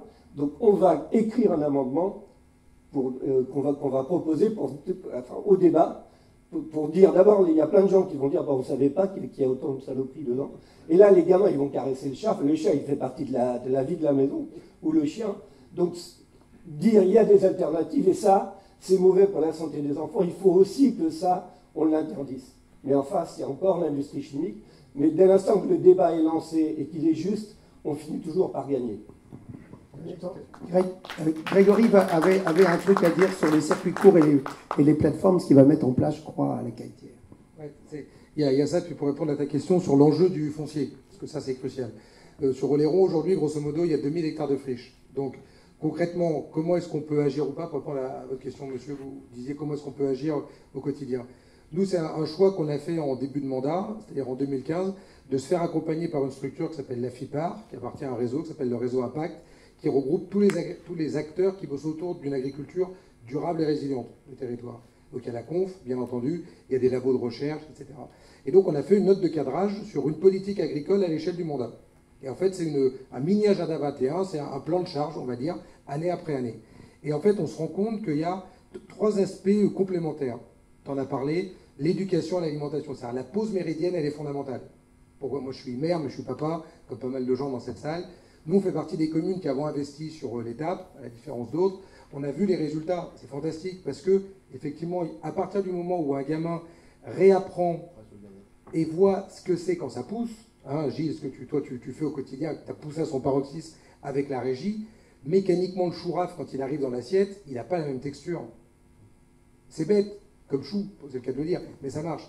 Donc ça, c'est le premier point. On va dire sur vraiment l'éducation à l'environnement. On a la chance ici d'avoir un CPE, on peut faire des boulots là-dessus, d'éducation, de lecture de paysages. Et c'est même l'attractivité touristique. Ce matin, euh, je vous raconte un peu ma vie, hein, on était en réunion avec l'Office de pôle, donc qui est l'Office de, de tourisme, et euh, Jérôme Morvin, qui sera là demain, qui est élu euh, régional, et qui est en charge, à la demande du président Rousset, de réaliser une étude sur l'attractivité touristique des territoires qui sont bio-engagés. C'est-à-dire faire un vrai boulot. Est-ce qu'à un moment donné, quelqu'un ou quelqu'une choisit ses vacances sur des critères comme ça? La OHPA, l'association Les Renaises de Terre et Plein Air, qui regroupe tous les campings qu'on connaît euh, dans l'île, là-dessus, quand on discute avec eux, ça, ils le disent. C'est-à-dire qu'à un moment donné, à territoire comparable, on va choisir Oléron. Pourquoi? Parce qu'en plus du climat, des plages, on va trouver... J'ai un c'est- voisin qui est du Jura, il vient ici depuis 10 ans parce qu'il trouve ça. c'est c'est une véritable attractivité territoriale. Ça, ça se mesure de- dans, dans, dans l'échelle globale. Donc ça veut dire qu'on a cette mesure des externalités positives et négatives à prendre en compte. Et ça, qu'est-ce que ça veut dire? C'est que si on doit s'intéresser au foncier, il faut être capable à la fois de lutter contre l'enfrichement et en même temps recréer des grands ensembles. Et le, le problème qu'on a dans notre coin, c'est que tout le monde reste assis sur son terrain parce qu'en se disant si ça passe constructible, non, ça tambouille, bim, jackpot. Bon, et ben à un moment donné, il faut avoir un, discours de responsabilité. Moi, c'est celui que j'ai hein, au, quotidien. Parfois, ça ne plaît pas aux gens. Je dis, bah oui, vous rêviez 200 euros du mètre carré, ben non, ça va rester à 40 centimes. Et comme vous n'avez pas vous en servir, mettez-le à disposition. La SAFER, qui est un organisme avec qui on travaille, a des outils pour contractualiser où on peut rester propriétaire de son terrain, mais le mettre quand même en exploitation pour que des agriculteurs puissent disposer d'espaces suffisamment bien, etc. Et, ce qui est intéressant, parce que nous en tout cas c'est ce qu'on fait, c'est que pour le coup la chambre d'agri, alors à la base on peut dire qu'on n'est pas forcément, pourtant, sont les meilleurs aujourd'hui en termes d'expertise d'analyse des sols, reconnus par tous. Et du coup maintenant on a des, excellentes relations avec le technicien, la technicienne qui s'en occupe, et ce qui nous permet de savoir à la parcelle près, parce qu'ensuite l'idée derrière c'est de travailler sur des bases de données, parce qu'on sait bien que la vie euh, avance, et donc il faut que chacun puisse savoir où est-ce qu'on en est du patrimoine agricole, pour se dire quelles sont les terres qui vont être mieux pour le pâturage, qui vont être mieux pour le maraîchage, terre haute, terre basse, la question de l'eau, etc. Un exemple tout bête, et je terminerai là-dessus. Émilie Mario, je ne sais pas si vous et ceux qui la connaissent, s'est lancée dans l'élevage de moutons. Comment est-ce qu'on a fait? On a récupéré des terrains privés, des terrains de la mairie, des terrains du département, des terrains du conservatoire, et on a recréé un ensemble de 70 hectares qui lui permet d'avoir des, bêtes, de l'agnélage, et elle va pouvoir créer son emploi là-dessus derrière. Donc c'est développement de l'activité euh, économique, entretien des paysages, parce que du coup les moutons quand ils sont là, je ne sais pas si vous avez déjà utilisé des moutons dans votre jardin, euh, c'est recta, hein. Les bébêtes elles sont là, ça bouffe, hein. donc là on est tranquille, pas besoin de tondeuse, exactement. Et donc c'est ça qui est intéressant derrière. Et si on arrive justement à mettre ça ensemble, moi le, le- et je termine là-dessus, la, la dernière délib que j'ai pu signer en tant que vice-président encore en charge du développement éco avant de me faire euh, massicoter mes, mes délégations, c'est cette délib qu'on a prise à la CDC pour justement l'ensemble des communes s'engagent pour aller dans cette direction. Avec Ethel Gauthier, qui est la collègue chargée de mission qui bosse là-dessus, depuis le début du mandat, on a bossé. Parce que c'est, il faut y aller, on ne peut pas imposer, c'est compliqué. Maintenant, on l'a fait. Ça y est. Et ces plateformes logistiques, ce que disait euh, euh, Xavier, c'est, c'est ce qu'on voit aujourd'hui concrètement pour que les restaurateurs, par exemple d'Assiette et Saveurs, qui sont réunis euh, ensemble, Stéphane en fait partie, la petite plage à, domino, etc. Qu'est-ce qui leur arrive l'été? C'est que mécaniquement, comme tout le monde qui est en saison, ils sont au taquet. Donc eux ne peuvent pas sortir de leur établissement pour faire le tour des producteurs. Le producteur, lui, son métier, c'est de produire, surtout en ce moment avec les retards qu'ils ont pris vu la pluie. Il ne peut pas prendre sa voiture, notamment l'été. Voilà. Donc cette plateforme logistique, elle manque. Et raison pour laquelle, pour ne pas les citer, vous voyez sur la route du pont Sprimer, machin, etc., qui a intégré ça à grande échelle en lien avec les enseignes qu'on connaît, de la restauration collective, des Sodexo, machin, etc. pourquoi est-ce qu'on ne serait pas capable, nous, d'en recréer à notre échelle des micro-plateformes adaptées? C'est ce qu'on va faire à la Caïtière, par exemple. Pourquoi? Parce qu'on a l'espace, parce que c'est Dolus. Dolus, l'avantage, c'est que c'est au centre, donc c'est facile, et ça va là-dessus. Et le dernier point pour que les maraîchers aussi s'installent, c'est que ça existe dans le monde de l'entreprise classique, ça s'appelle des pépinières d'entreprise ou des incubateurs. Ici, ça s'appelle de l'espace test agricole, c'est ce qu'on va ouvrir sur la qualité et sur des terrains à côté. La communauté de communes de Valence qu'on est allé visiter a mis ça en place. Ça fait 10 ans maintenant que c'est là. Ils ont demandé à la Chambre d'agriculture de faire l'étude, c'est que du bio, hein, l'installation. Et ben le taux de survie à 3 ans est trois fois supérieur. Pourquoi? Parce que les maraîchers ne sont pas lancés tout seuls. Il y a un parrainage avec un aîné, donc du coup il y a une transmission. Du coup, l'aîné qu'on a rencontré aussi pour témoigner, bah, comme tous, dès qu'on prend un stagiaire dans, une équipe, bah, ça re-questionne aussi, parce que c'est des nouvelles pratiques. Ah tiens, toi tu fais comme ci, moi j'aurais pas fait comme ça, on m'a appris ça à l'école, etc.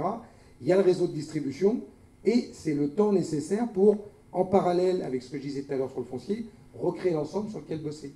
Et si on continue à avancer, je pense, petit pas par petit pas, un peu comme le Tetris, vous vous rappelez du jeu qui se met en place, eh ben, on arrivera à faire en sorte que dans l'île, on accroîtra, je pense, la part d'autonomie à terme, parce que c'est ce que tu fais à Mouan. L'idéal, c'est ça, c'est d'aller vers euh, que 100% de la production du maraîchage en régie alimente la resto la resto privée. Ça, c'est un exemple. On, va voir, c'est un peu loin comme objectif, mais c'est intéressant. Parce que là, pour le coup, tous les critères et tous les canons, ils sont ouverts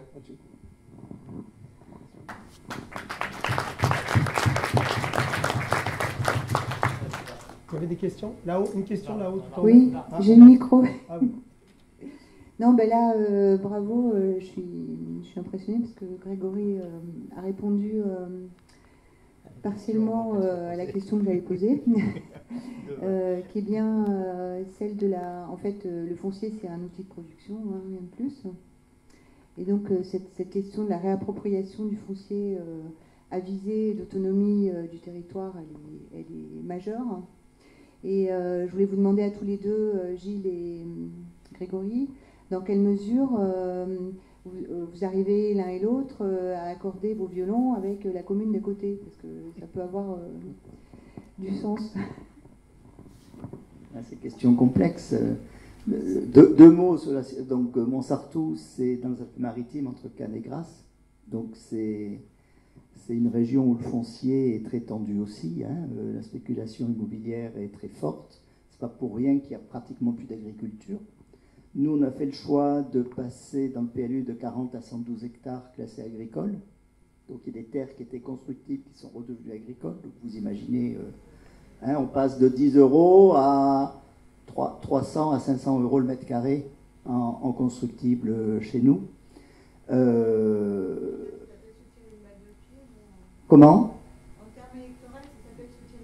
Ben écoutez, c'était en 2012, on a été réélu à 60, plus de 70% en 2014, donc euh, on s'en est pas trop mal tiré. On, avait, on a perdu quelques, quelques points quand même, mais ça allait. Et, et c'est vrai qu'on est, euh, on est un peu regardé bizarrement dans la région euh, par les, les, communes voisines depuis longtemps. Ceci dit, mardi, mardi soir, on a présenté notre projet d'action d'installation agricole sur la commune. Et il y avait euh, la communauté d'agglomération du Pays de Grâce, donc qui notre aglo, qui, était présente et qui a tenu un discours euh, qui évolue.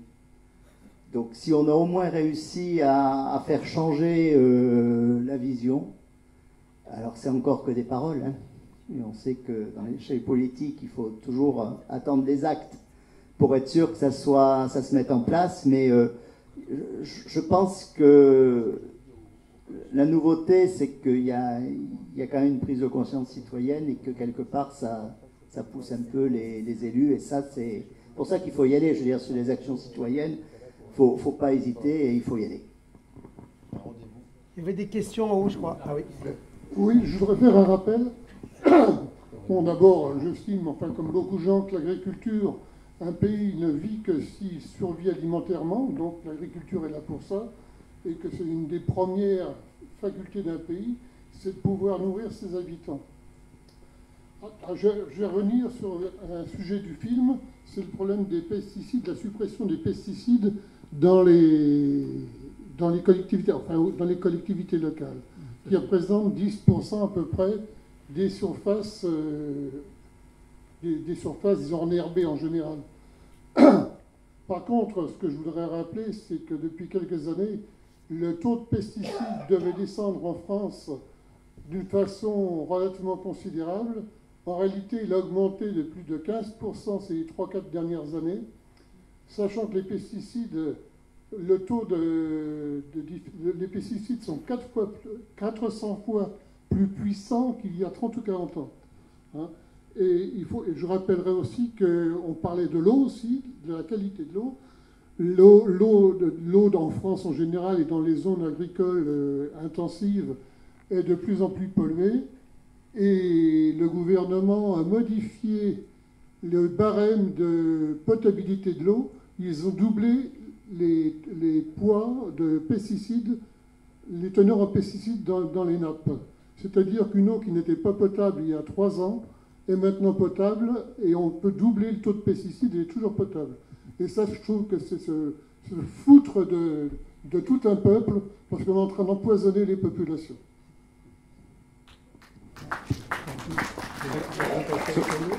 Sur, je réponds sur, la, sur la qualité de l'eau. Donc ça, c'est un sujet que Jean-François connaît euh, particulièrement bien. Moi, je fais partie du, du SAD, donc c'est le SEMA d'aménagement et de gestion de, de l'eau du fleuve Charente. Il faut savoir qu'en 30 ans, en volume, hein, il y a eu 30% d'eau en moins qui arrivée dans le bassin. Et comme le dit euh, François Patsouris, pour ceux qui connaissent qui est lui à Tremblade, il ne faut pas oublier que les rivières sont les racines de la mer, mécaniquement. Et nous, si ça baisse en quantitatif et en qualitatif, toute la conquilliculture sera par terre et de facto le tourisme. Parce qu'autant vous dire que si demain nos plages ferment par rapport à ce que vous dites, je ne suis pas sûr que l'attractivité touristique. Donc qu'est-ce qu'on est en train de faire? Et c'est pas facile. hein.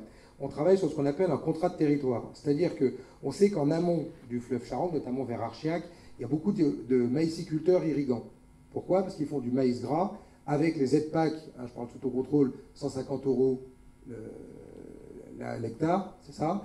Du coup, ça part à la palisse et grosso modo, c'est le jeu de la mondialisation plus ou moins. C'est dis-moi quelles seront la couleur de mes arbustes, je te dirai combien tu auras de maïs. Enfin, grosso modo, c'est un peu ça le truc. Pour nourrir les poulets dans les déserts. Donc, ce qu'on essaye de faire, plutôt de réfléchir là-dessus. Mais c'est c'est pas facile, hein, parce que là, pareil, on est plein, beaucoup d'enjeux. Nous, de par la forte consommation qu'on a, notamment l'été, on consomme énormément de blé. Donc, l'idée sur laquelle on est en train de travailler concrètement en ce moment avec des agriculteurs, des organisations syndicales, etc. C'est de se dire comment est-ce qu'on pourrait avoir une transformation de ce modèle agricole fortement irrigué de maïs gras pour aller vers du blé, de replanter en allant vers de l'agroforesterie. Si vous êtes là demain, Benoît Biteau sera là, il pourra en parler parce que lui, il a vécu concrètement sur sa ferme familiale qu'il a transformée, donc chiffre à l'appui, il peut donner l'exemple exact de- ça et qu'une partie de cette production de blé, nous, avec les besoins qu'on a notamment en saison, on puisse garantir un revenu minimum à celles et ceux qui produisent.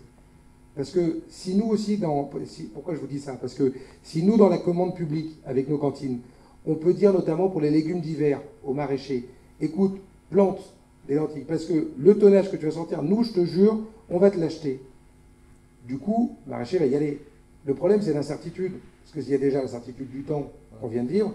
Et si on a l'incertitude de l'achat et de la vente, on n'est pas tous des Goldman Sachs. Pourquoi je parle de Goldman Sachs? Parce que c'est aujourd'hui le premier propriétaire agricole au monde par par rapport aux denrées alimentaires qui s'échangent. Donc le, le véritable enjeu, il est là-dessus, sur une véritable transparence Et pour répondre à votre question, madame, sur les relations avec les voisins, bon, papote avec tout le monde dans le coin. C'est pas grave, on n'est pas là pour, pour être copains. Juste nous, ce qu'on montre, l'exemple, c'est qu'entre 2014 et maintenant, on est passé de 18 à plus de 43% bio, à passer la barre des 50% grâce à un plus bio. Et on est labellisé Terre Saine, 4 papiers au niveau national. Donc je suis désolé, j'ai pas pu venir à la remise des prix avec toi la semaine dernière à, cause, des, à cause des trains. Et donc c'est possible, co- concrètement. Et la, maîtrise du, foncier, c'est à un moment donné, c'est ce que tu disais, c'est euh, ça se passe, il y a la, politique générale, le zonage sur la carte dans la révision de PLU, et après c'est des discussions euh, comme ça, comme ça. À un moment donné, il faut savoir dire à des gens, bah, écoute, désolé, ça va pas le faire. Alors après, c'est est plus ou moins euh, clientéliste ou pas les uns les autres. après, chacun fait sa tambouille comme il veut en fonction de ses intérêts perso aussi. Nous, on fait partie de ces gens, on n'a pas été élus parce qu'on avait 4-5 hectares en attendant qu'ils deviennent constructibles. Pour, euh, Thierry Sozo, qui est historien, est en train de travailler en ce moment avec l'Université de La Rochelle sur les 50-60 dernières années, sur l'évolution de l'urbanisation des communes en fonction de la composition des conseils municipaux, pour savoir qui étaient les propriétaires fonciers en amont. Parce que c'est ça un peu la réalité du truc. Non, mais concrètement. Oui, euh, bonsoir.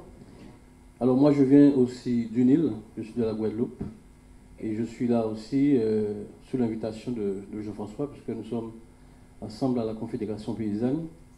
Et donc ce que j'ai envie de dire, c'est que je viens aussi d'une île qui est concernée par euh, les pesticides, puisque si vous suivez l'actualité, le chlordécone nous impacte considérablement, puisqu'en Guadeloupe, nous avons 5000 hectares de terres contaminées par le chlordécone, et c'est une contamination qui est fixée certainement pour 200-300 ans. La Martinique, c'est davantage, c'est 15 000 hectares. Mais ce que j'ai envie de dire, c'est que quand je vous écoute parler, j'ai l'impression que vous vous enfermez un petit peu dans la périphérie, la petite périphérie de, de, l'île Loléon, alors que l'agriculture mondiale, enfin ça se discute sur le plan mondial aujourd'hui.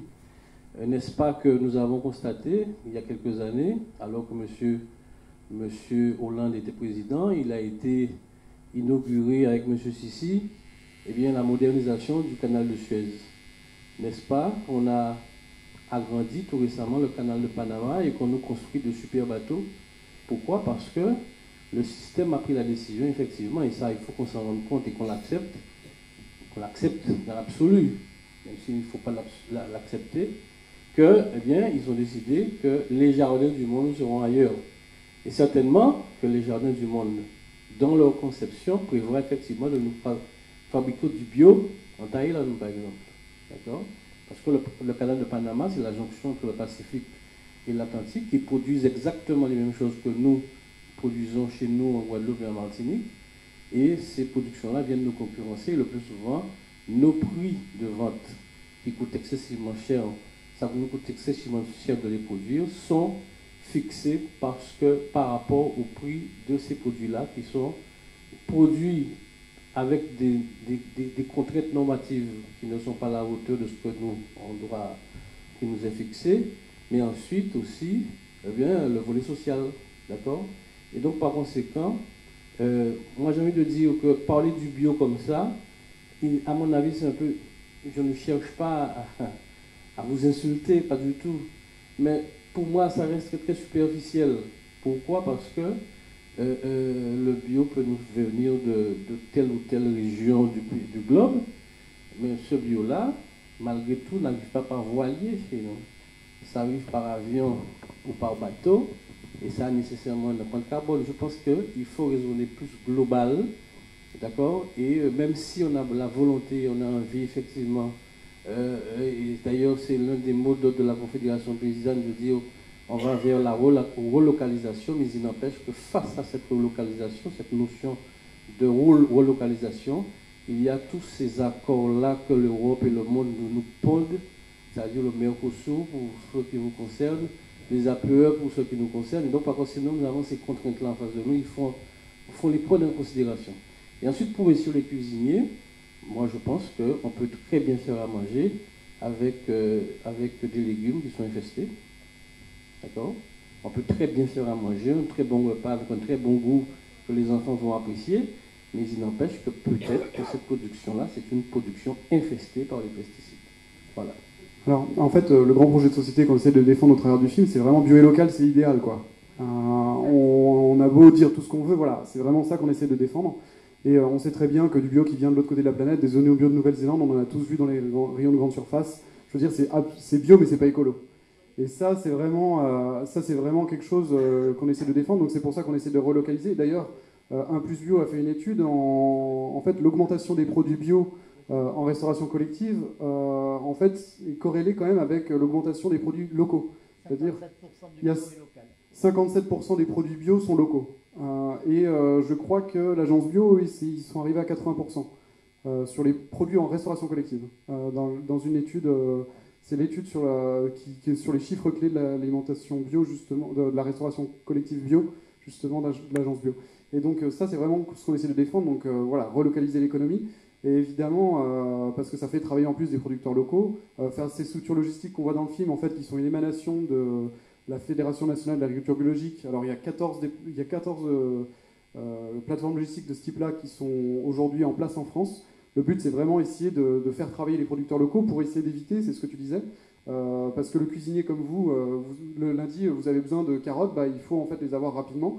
Et c'est pas votre travail d'aller voir le, le maraîcher du coin pour pouvoir se fournir, parce que vous n'avez pas le temps. Euh, bah, il faut, mais en partie, ça permet vraiment de faciliter. Là, vous êtes vraiment plus engagé que certains, et il y en a qui n'ont pas le temps justement d'aller plus loin.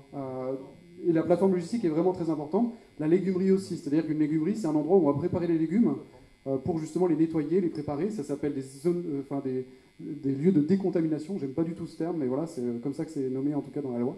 Et euh, donc là, c'est là qu'on épluche les légumes, qu'on les prépare, qu'on les nettoie, qu'on les. Et euh, ça, ça fait partie euh, intégrante au- aujourd'hui du, des, structures pour pouvoir faire un peu plus que 500 même repas par jour. Euh, je pense à la plateforme, enfin à la cuisine centrale de Besançon, ils font 5500 repas en liaison chaude, où ils essaient de dé- décarcasser au maximum justement pour faire des choses. C'est d'ailleurs euh, Jean-François Rousseau, euh, quel- quelqu'un, euh, ouais, décarcasser, c'est ça Voilà. Donc là, vraiment, il y a un intérêt à, à essayer de, de restructurer toute la filière, et ça, c'est pas évident. Tu voulais ramener quelque chose? Je voulais juste rebondir sur, sur l'intervention euh, à deux niveaux. Euh, et la, la loi euh, agriculture-alimentation devrait aussi intégrer une part de commerce équitable dans la restauration collective. Et effectivement, avec des produits très spécialisés, moi je vois à, à Montsartou, on est 70% d'approvisionnement régional. Et ce qui est euh, chocolat, banane, ce qui, peut venir de, de plus loin parce qu'on n'a pas la production locale euh, forcément, on le demande en équitable. Pour être sûr aussi que les modes de production euh, dans la zone d'origine soient faits correctement et ça peut aussi être un moyen de répondre à, à des développements d'agriculture intensive dans certaines régions qui, pourraient nous, envahir. Et le deuxième, Montsartou fait partie d'un mouvement qui s'appelle Organic Food System Programme, qui est, il y a 250 villes euh, ou universités dans le monde qui, ont adhéré à ce programme, et on, on fournit des livrables à la FAO, donc à l'Organisation des Nations Unies, pour montrer qu'on peut produire bio localement, et cette idée, c'est aussi de, de, repenser, comme on le fait localement, de repenser au niveau mondial, que, que chaque pays aussi a ses ressources et peut produire, euh, produire localement. Je crois que le, système, il a changé aussi au niveau international. Quand on sait que, euh, j'ai vu quand, euh, quand on prend le CETA par exemple, et que maintenant, à partir de 250 000 euros sur un marché alimentaire en France, on doit l'ouvrir au Canada, je veux dire, voilà, on marche sur la tête. Après, il faut peut-être créer une taxe verte, moi je dis, soit euh, taxe verte, qui prend en compte le prix du cycle de vie du produit, mais aussi de l'empreinte carbone. Compliqué. Voilà. Je pense qu'il faudrait qu'on fasse une taxe, bah oui, euh, une taxe verte, mais qui soit euh, européenne, mais je dirais même internationale, mondiale, parce que dans un- on veut payer à juste prix les- les- l'agriculture, les, paysans, mais dans, en prenant en compte le cycle de vie du produit. Et dans ce pro- de cycle de vie du produit, il faut aussi tenir compte de l'empreinte carbone d'un produit. De ce fait-là, du coup, on n'aura plus de produits qui viennent de, de, Tatawa- de Tatawin, quoi. Ça, c'est, c'est pas sûr, parce que l'empreinte carbone, elle vient plus du mode de production que du- de la distance de transport. C'est un ensemble aussi. Donc il faut. Un ensemble on ne sait aussi. pas ce qu'on trouverait à, l'arrivée. Et, et de ce que cette taxe sert vraiment à, pro- à protéger l'environnement. Mais, euh, mais c'est intéressant. Voilà. Donc ça, c'est une proposition que j'ai faite à des députés, que je vais d'ailleurs donner mon dossier aussi à, à Joël euh, prochainement, qu'on puisse se départ de, de ces idées un peu farfelues qui peut-être euh, feront bouger les choses. Une dernière question. Oui. Une Euh, dernière question, parce que demain matin, je vous rappelle Oui, qu'on sais, va être je- j'y suis. sur le pont à 8h. Je sais. Et demi. 8h30. Ah oui. non, je voulais, je voulais faire un peu le.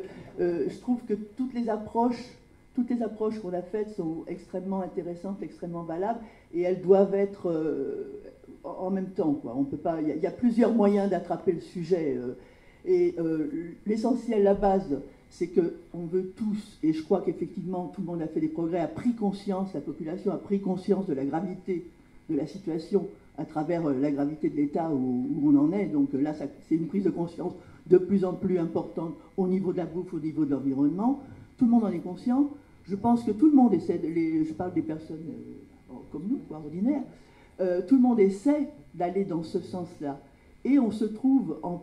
Les, alors, les, les élus locaux, c'est pareil, ils font absolument tout ce qu'ils peuvent et tout. de- Bon, et on est en prise, nous, à des injonctions contradictoires. Bon, on nous met des pubs avec, euh, avec des, bon, des trucs à acheter en dessous, surtout, euh, mangez pas ça. Bon, c'est dur à comprendre, c'est dur à faire comprendre à un monde qui voit ça depuis qu'il est... Lui, il comprend qu'il faut manger en fait ça. Oui. Hein, un Ça, c'est- euh, sûr. moins- sucré, moins- en fait, Ouais, ouais, non, mais bon, c'est une société euh, folle quand même. hein, C'est un petit peu, c'est un petit peu de la folie. Donc on est, on, essaye tous de faire ça. Après, bon, euh, ici c'est super parce qu'on a des marchés, on va au marché, c'est facile. Il y a des endroits où c'est plus difficile, euh, où ben, on arrive dans un supermarché. On, est, on cherche, bon, admettons, du beurre et de la crème fraîche. On trouve sur un rayon où il y a 3 3000 sortes de yaourts qu'on ne cherche pas du tout. Mais voilà, c'est une agression permanente. C'est quand même quelque chose qui, euh, nous pousse euh, euh, vraiment euh, insidieusement à l'achat. C'est fait pour ça, depuis le temps que c'est fait pour ça.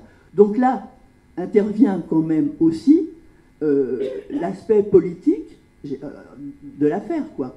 Si on n'arrive pas à, avoir, à mettre en œuvre une politique qui, va, qui choisit son intérêt, qui choisit sa politique, qui choisit euh, la conf ou, la FNSEA, on est bien obligé d'en arriver à prendre une position politique et radicale si on ne veut pas crever très vite. Donc je pense que on, est tous d'accord peu sur le- sur l'essentiel, sur le constat et sur la volonté de faire autrement, de revenir à des modes normaux. Parce que c'est à la normalité qu'on peut revenir, hein. c'est pas, pas compliqué, c'est pas un truc euh, à la mode, machin et truc, c'est une question de survie maintenant. Donc euh, on est tous d'accord, il faut tous qu'on prenne euh, conscience de ça, on le fait, que les, élus locaux vont dans ce sens-là, ils le font, et c'est une, bagarre incroyable, on est d'accord. Mais il faut aussi qu'on pousse nos politiques, je suis bien entièrement d'accord, à tenir le coup, parce que là, on va en marche arrière, hein, quand même. Et alors, en plus, quand j'ai entendu ce que vous avez dit, ça m'a complètement euh, frappé. Parce que euh, si on change la règle du jeu en route, on, croit qu'on a une, eau comme d'habitude, ben non, c'est plus vrai. Euh, pareil, on croit qu'il faut qu'une loi soit votée pour qu'elle soit appliquée. Non, non, on l'applique avant de la voter. Bon, si personne n'est d'accord, euh, on y va quand même. Alors, ça, c'est quand même très grave. On est dans un déni de démocratie dans ce cas-là. Donc, je pense qu'on a à lutter sur sur tous les fronts parce qu'on a le même but, le même objectif. Merci pour euh, ce que vous avez Merci, bonne soirée. J'espère que vous serez nombreux demain au PAD. Il y, a des, il y a des trucs pour les enfants, il y aura des concerts, des conférences jusqu'à minuit. Et voilà, donc, euh, et on vous expliquera pourquoi. Il y, a, il y a encore deux projections. Oui, ah oui, alors dimanche, il y aura deux projections de films euh, ici. Euh, 18h, 20 ans pour euh, refaire le monde, c'est ça? Changer le monde. Voilà, et je vous passe le. le- voilà. En fait, euh, on a 20 ans pour changer le monde, c'est porté par Femmes d'avenir, mais en fait, on avait envie de le, pro- le programmer parce que moi, perso, je l'ai déjà pas vu, donc euh, j'avais envie de le voir. Et puis en plus, bah, c'est pour soutenir aussi toutes les initiatives qui existent, parce que moi, en fait, je suis pas du tout réalisateur et je, fais des films, c'est vraiment pour militer. En fait, à la base, je suis vigneron et d'ailleurs, je retourne dans les vignes d'ici 15 jours. Ça va être un changement de ville et c'est bien. Et euh, le but, c'est vraiment euh, donc les vignes en biodynamie, hein, je précise quand même. Pour ceux qui douteraient. Euh, et là, on a aussi Denis Robert qui vient euh, présenter son dernier documentaire en avant-première, je Oui, pense. qui est qui a jamais été diffusé. Qui n'a jamais été diffusé. C'est vraiment le film surprise. Nous, on sait absolument pas ce qui se passe. Euh, on va tous découvrir ensemble. Et c'est à 20h ici. Non, 21h. 21h. 21h. Voilà. et c'est un film sur une résistante. Parce là, on n'est que des mecs. On est que des mecs et c'est un film sur, sur une résistante. Alors donc, euh, on va faire honneur à Denis Robert. J'espère que vous serez nombreux pour voir ce film qui n'a pas été montré euh, nulle part encore jusqu'à maintenant, qui vient de finir le montage. Je crois qu'il est à peine fini l'étalonnage. Et donc, euh, il va montrer ce film. On fera un débat avec lui. Et Denis Robert travaille sur un autre projet euh, sur la fiscalité. Denis Robert, c'est l'affaire Clearstream pour ceux qui ne savent pas. Il est venu, il est connu, il vient souvent dédicacer des livres à la librairie Pertuis ici. Et, euh, et Denis Robert, en fait, j'avais invité parce que on avait, euh, vous savez, en 2012, euh, enfin 2008 et 2009, je, m'étais un peu monté contre la baisse de la TVA en restauration et j'avais dénoncé à l'époque McDonald's qui faisait de l'optimisation fiscale. Alors aucun média n'avaient voulu de, mon propos. On peut les comprendre. D'ailleurs, ils ont un peu du mal à suivre ce qu'on fait ici, puisque ce sont McDonald's est un gros annonceur, donc beaucoup de médias trouvent un peu compliqué de parler de, de ce qui va se passer là. Donc, euh, c'est intéressant de le montrer. Et euh, Denis Robert donc travaille sur ce sujet, puisque finalement McDonald's qui disait qu'il n'avait pas fraudé, euh, j'avais été audité à la commission des finances de l'Assemblée nationale et ils avaient sorti un rapport en disant qu'ils avaient fait de l'optimisation fiscale. McDonald's avait pondu une quatrième de couve dans toute la presse pour dire non, non, non, nous on paye nos impôts, on, crée de l'emploi, etc. Un peu comme M. Bertrand qui avait dit en, en 2000, je crois que ça devait être en 2009 ou 2010, en disant mais McDo c'est super, il crée des emplois, etc. Avec 200 millions de, TVA de vos impôts, en fait, effectivement, on pouvait créer quelques centaines d'emplois, il n'y a pas de problème. Mais entre-temps, ils se sont fait gauler et donc ils doivent 300, ils ont, ils ont, ils ont grugé pour 2,2 milliards d'euros et donc ils sont aujourd'hui poursuivis par le fisc qui leur demande 300 millions euh, d'impôts. Et Denis Robert travaille donc sur ces, questions de fiscalité, d'optimisation fiscale et il sera là donc euh, sur ce film d'une résistante dont je vous en dis pas plus, mais en tout cas pour répondre, il sera là aussi dimanche pour répondre à toutes ces questions de la liberté euh, d'être reporter, de la liberté de journaliste et les limites euh, des questions, comment avec la nouvelle loi, vous avez entendu euh, secret d'affaires, cette, problématique, comment on, a, on peut enquêter, on peut faire des choses et il travaille sur, entre autres aujourd'hui, sur le rachat de Quick par la Caisse des dépôts qui a été revendu depuis à OBD et dont on a dû perdre un demi-milliard à mon avis. C'est Denis Robert qui enquête. Moi, j'ai juste posé la question, moi jamais répondu, quand j'avais demandé la question à la Caisse des dépôts, pourquoi vous avez mis euh, 800 millions d'euros dans Quick Et à l'époque, la Caisse des dépôts n'a pas répondu, euh, personne. Et euh, je me suis posé la question, c'est est-ce que l'État avait des meilleurs, euh, enfin l'État c'est notre argent, euh, de meilleures manières de lutter contre l'obésité infantile que de mettre 864 millions d'euros sur Quick? Donc ça sera le sujet de Denis Robert. J'espère que vous viendrez nombreux l'écouter dimanche après-midi. Il fera une conférence un peu spéciale et puis ici le soir. Voilà, je vous souhaite une bonne soirée. Je remercie tout le monde. Je ne sais pas si, j'ai à peu près conclu. Guillaume qui suit ce, c'est une des dernières projections débat qu'il a faites. On a fait 250. J'étais avec lui. Je peux vous dire que c'est des vrais, des vrais gens engagés, etc. Moi, je suis chef d'entreprise. Donc on prend du temps, euh, que ce soit des députés, des sénateurs, euh, des, maires. Et je trouve que c'est cette France qu'on représente aussi avec vous. Si tout le monde on est derrière et si tout le monde on veut se bouger, je peux vous dire que euh, on peut faire un 2018 qui sera un peu différent de 68, mais euh, la plage elle est pas loin et euh, il y, a- il y a- du sable, il n'y a pas trop de pavés, donc on, peut s'éclater sans s'en balancer sur la gueule. Voilà. Bonne journée, bonne soirée. Ça, c'était le, logo que j'avais fait, enfin l'affiche qui était à la base pour le printemps de l'alimentation durable, mais on m'a dit que pas très, pas très fair play. Mais voilà. En tout cas, il y aura des cartes postales, ça sera à vendre 1 euro et vous pouvez vous les envoyer dans toute la France. Printemps de l'alimentation durable 2018, ça se passe à Leuron et l'année prochaine en Occitanie. Bonne soirée.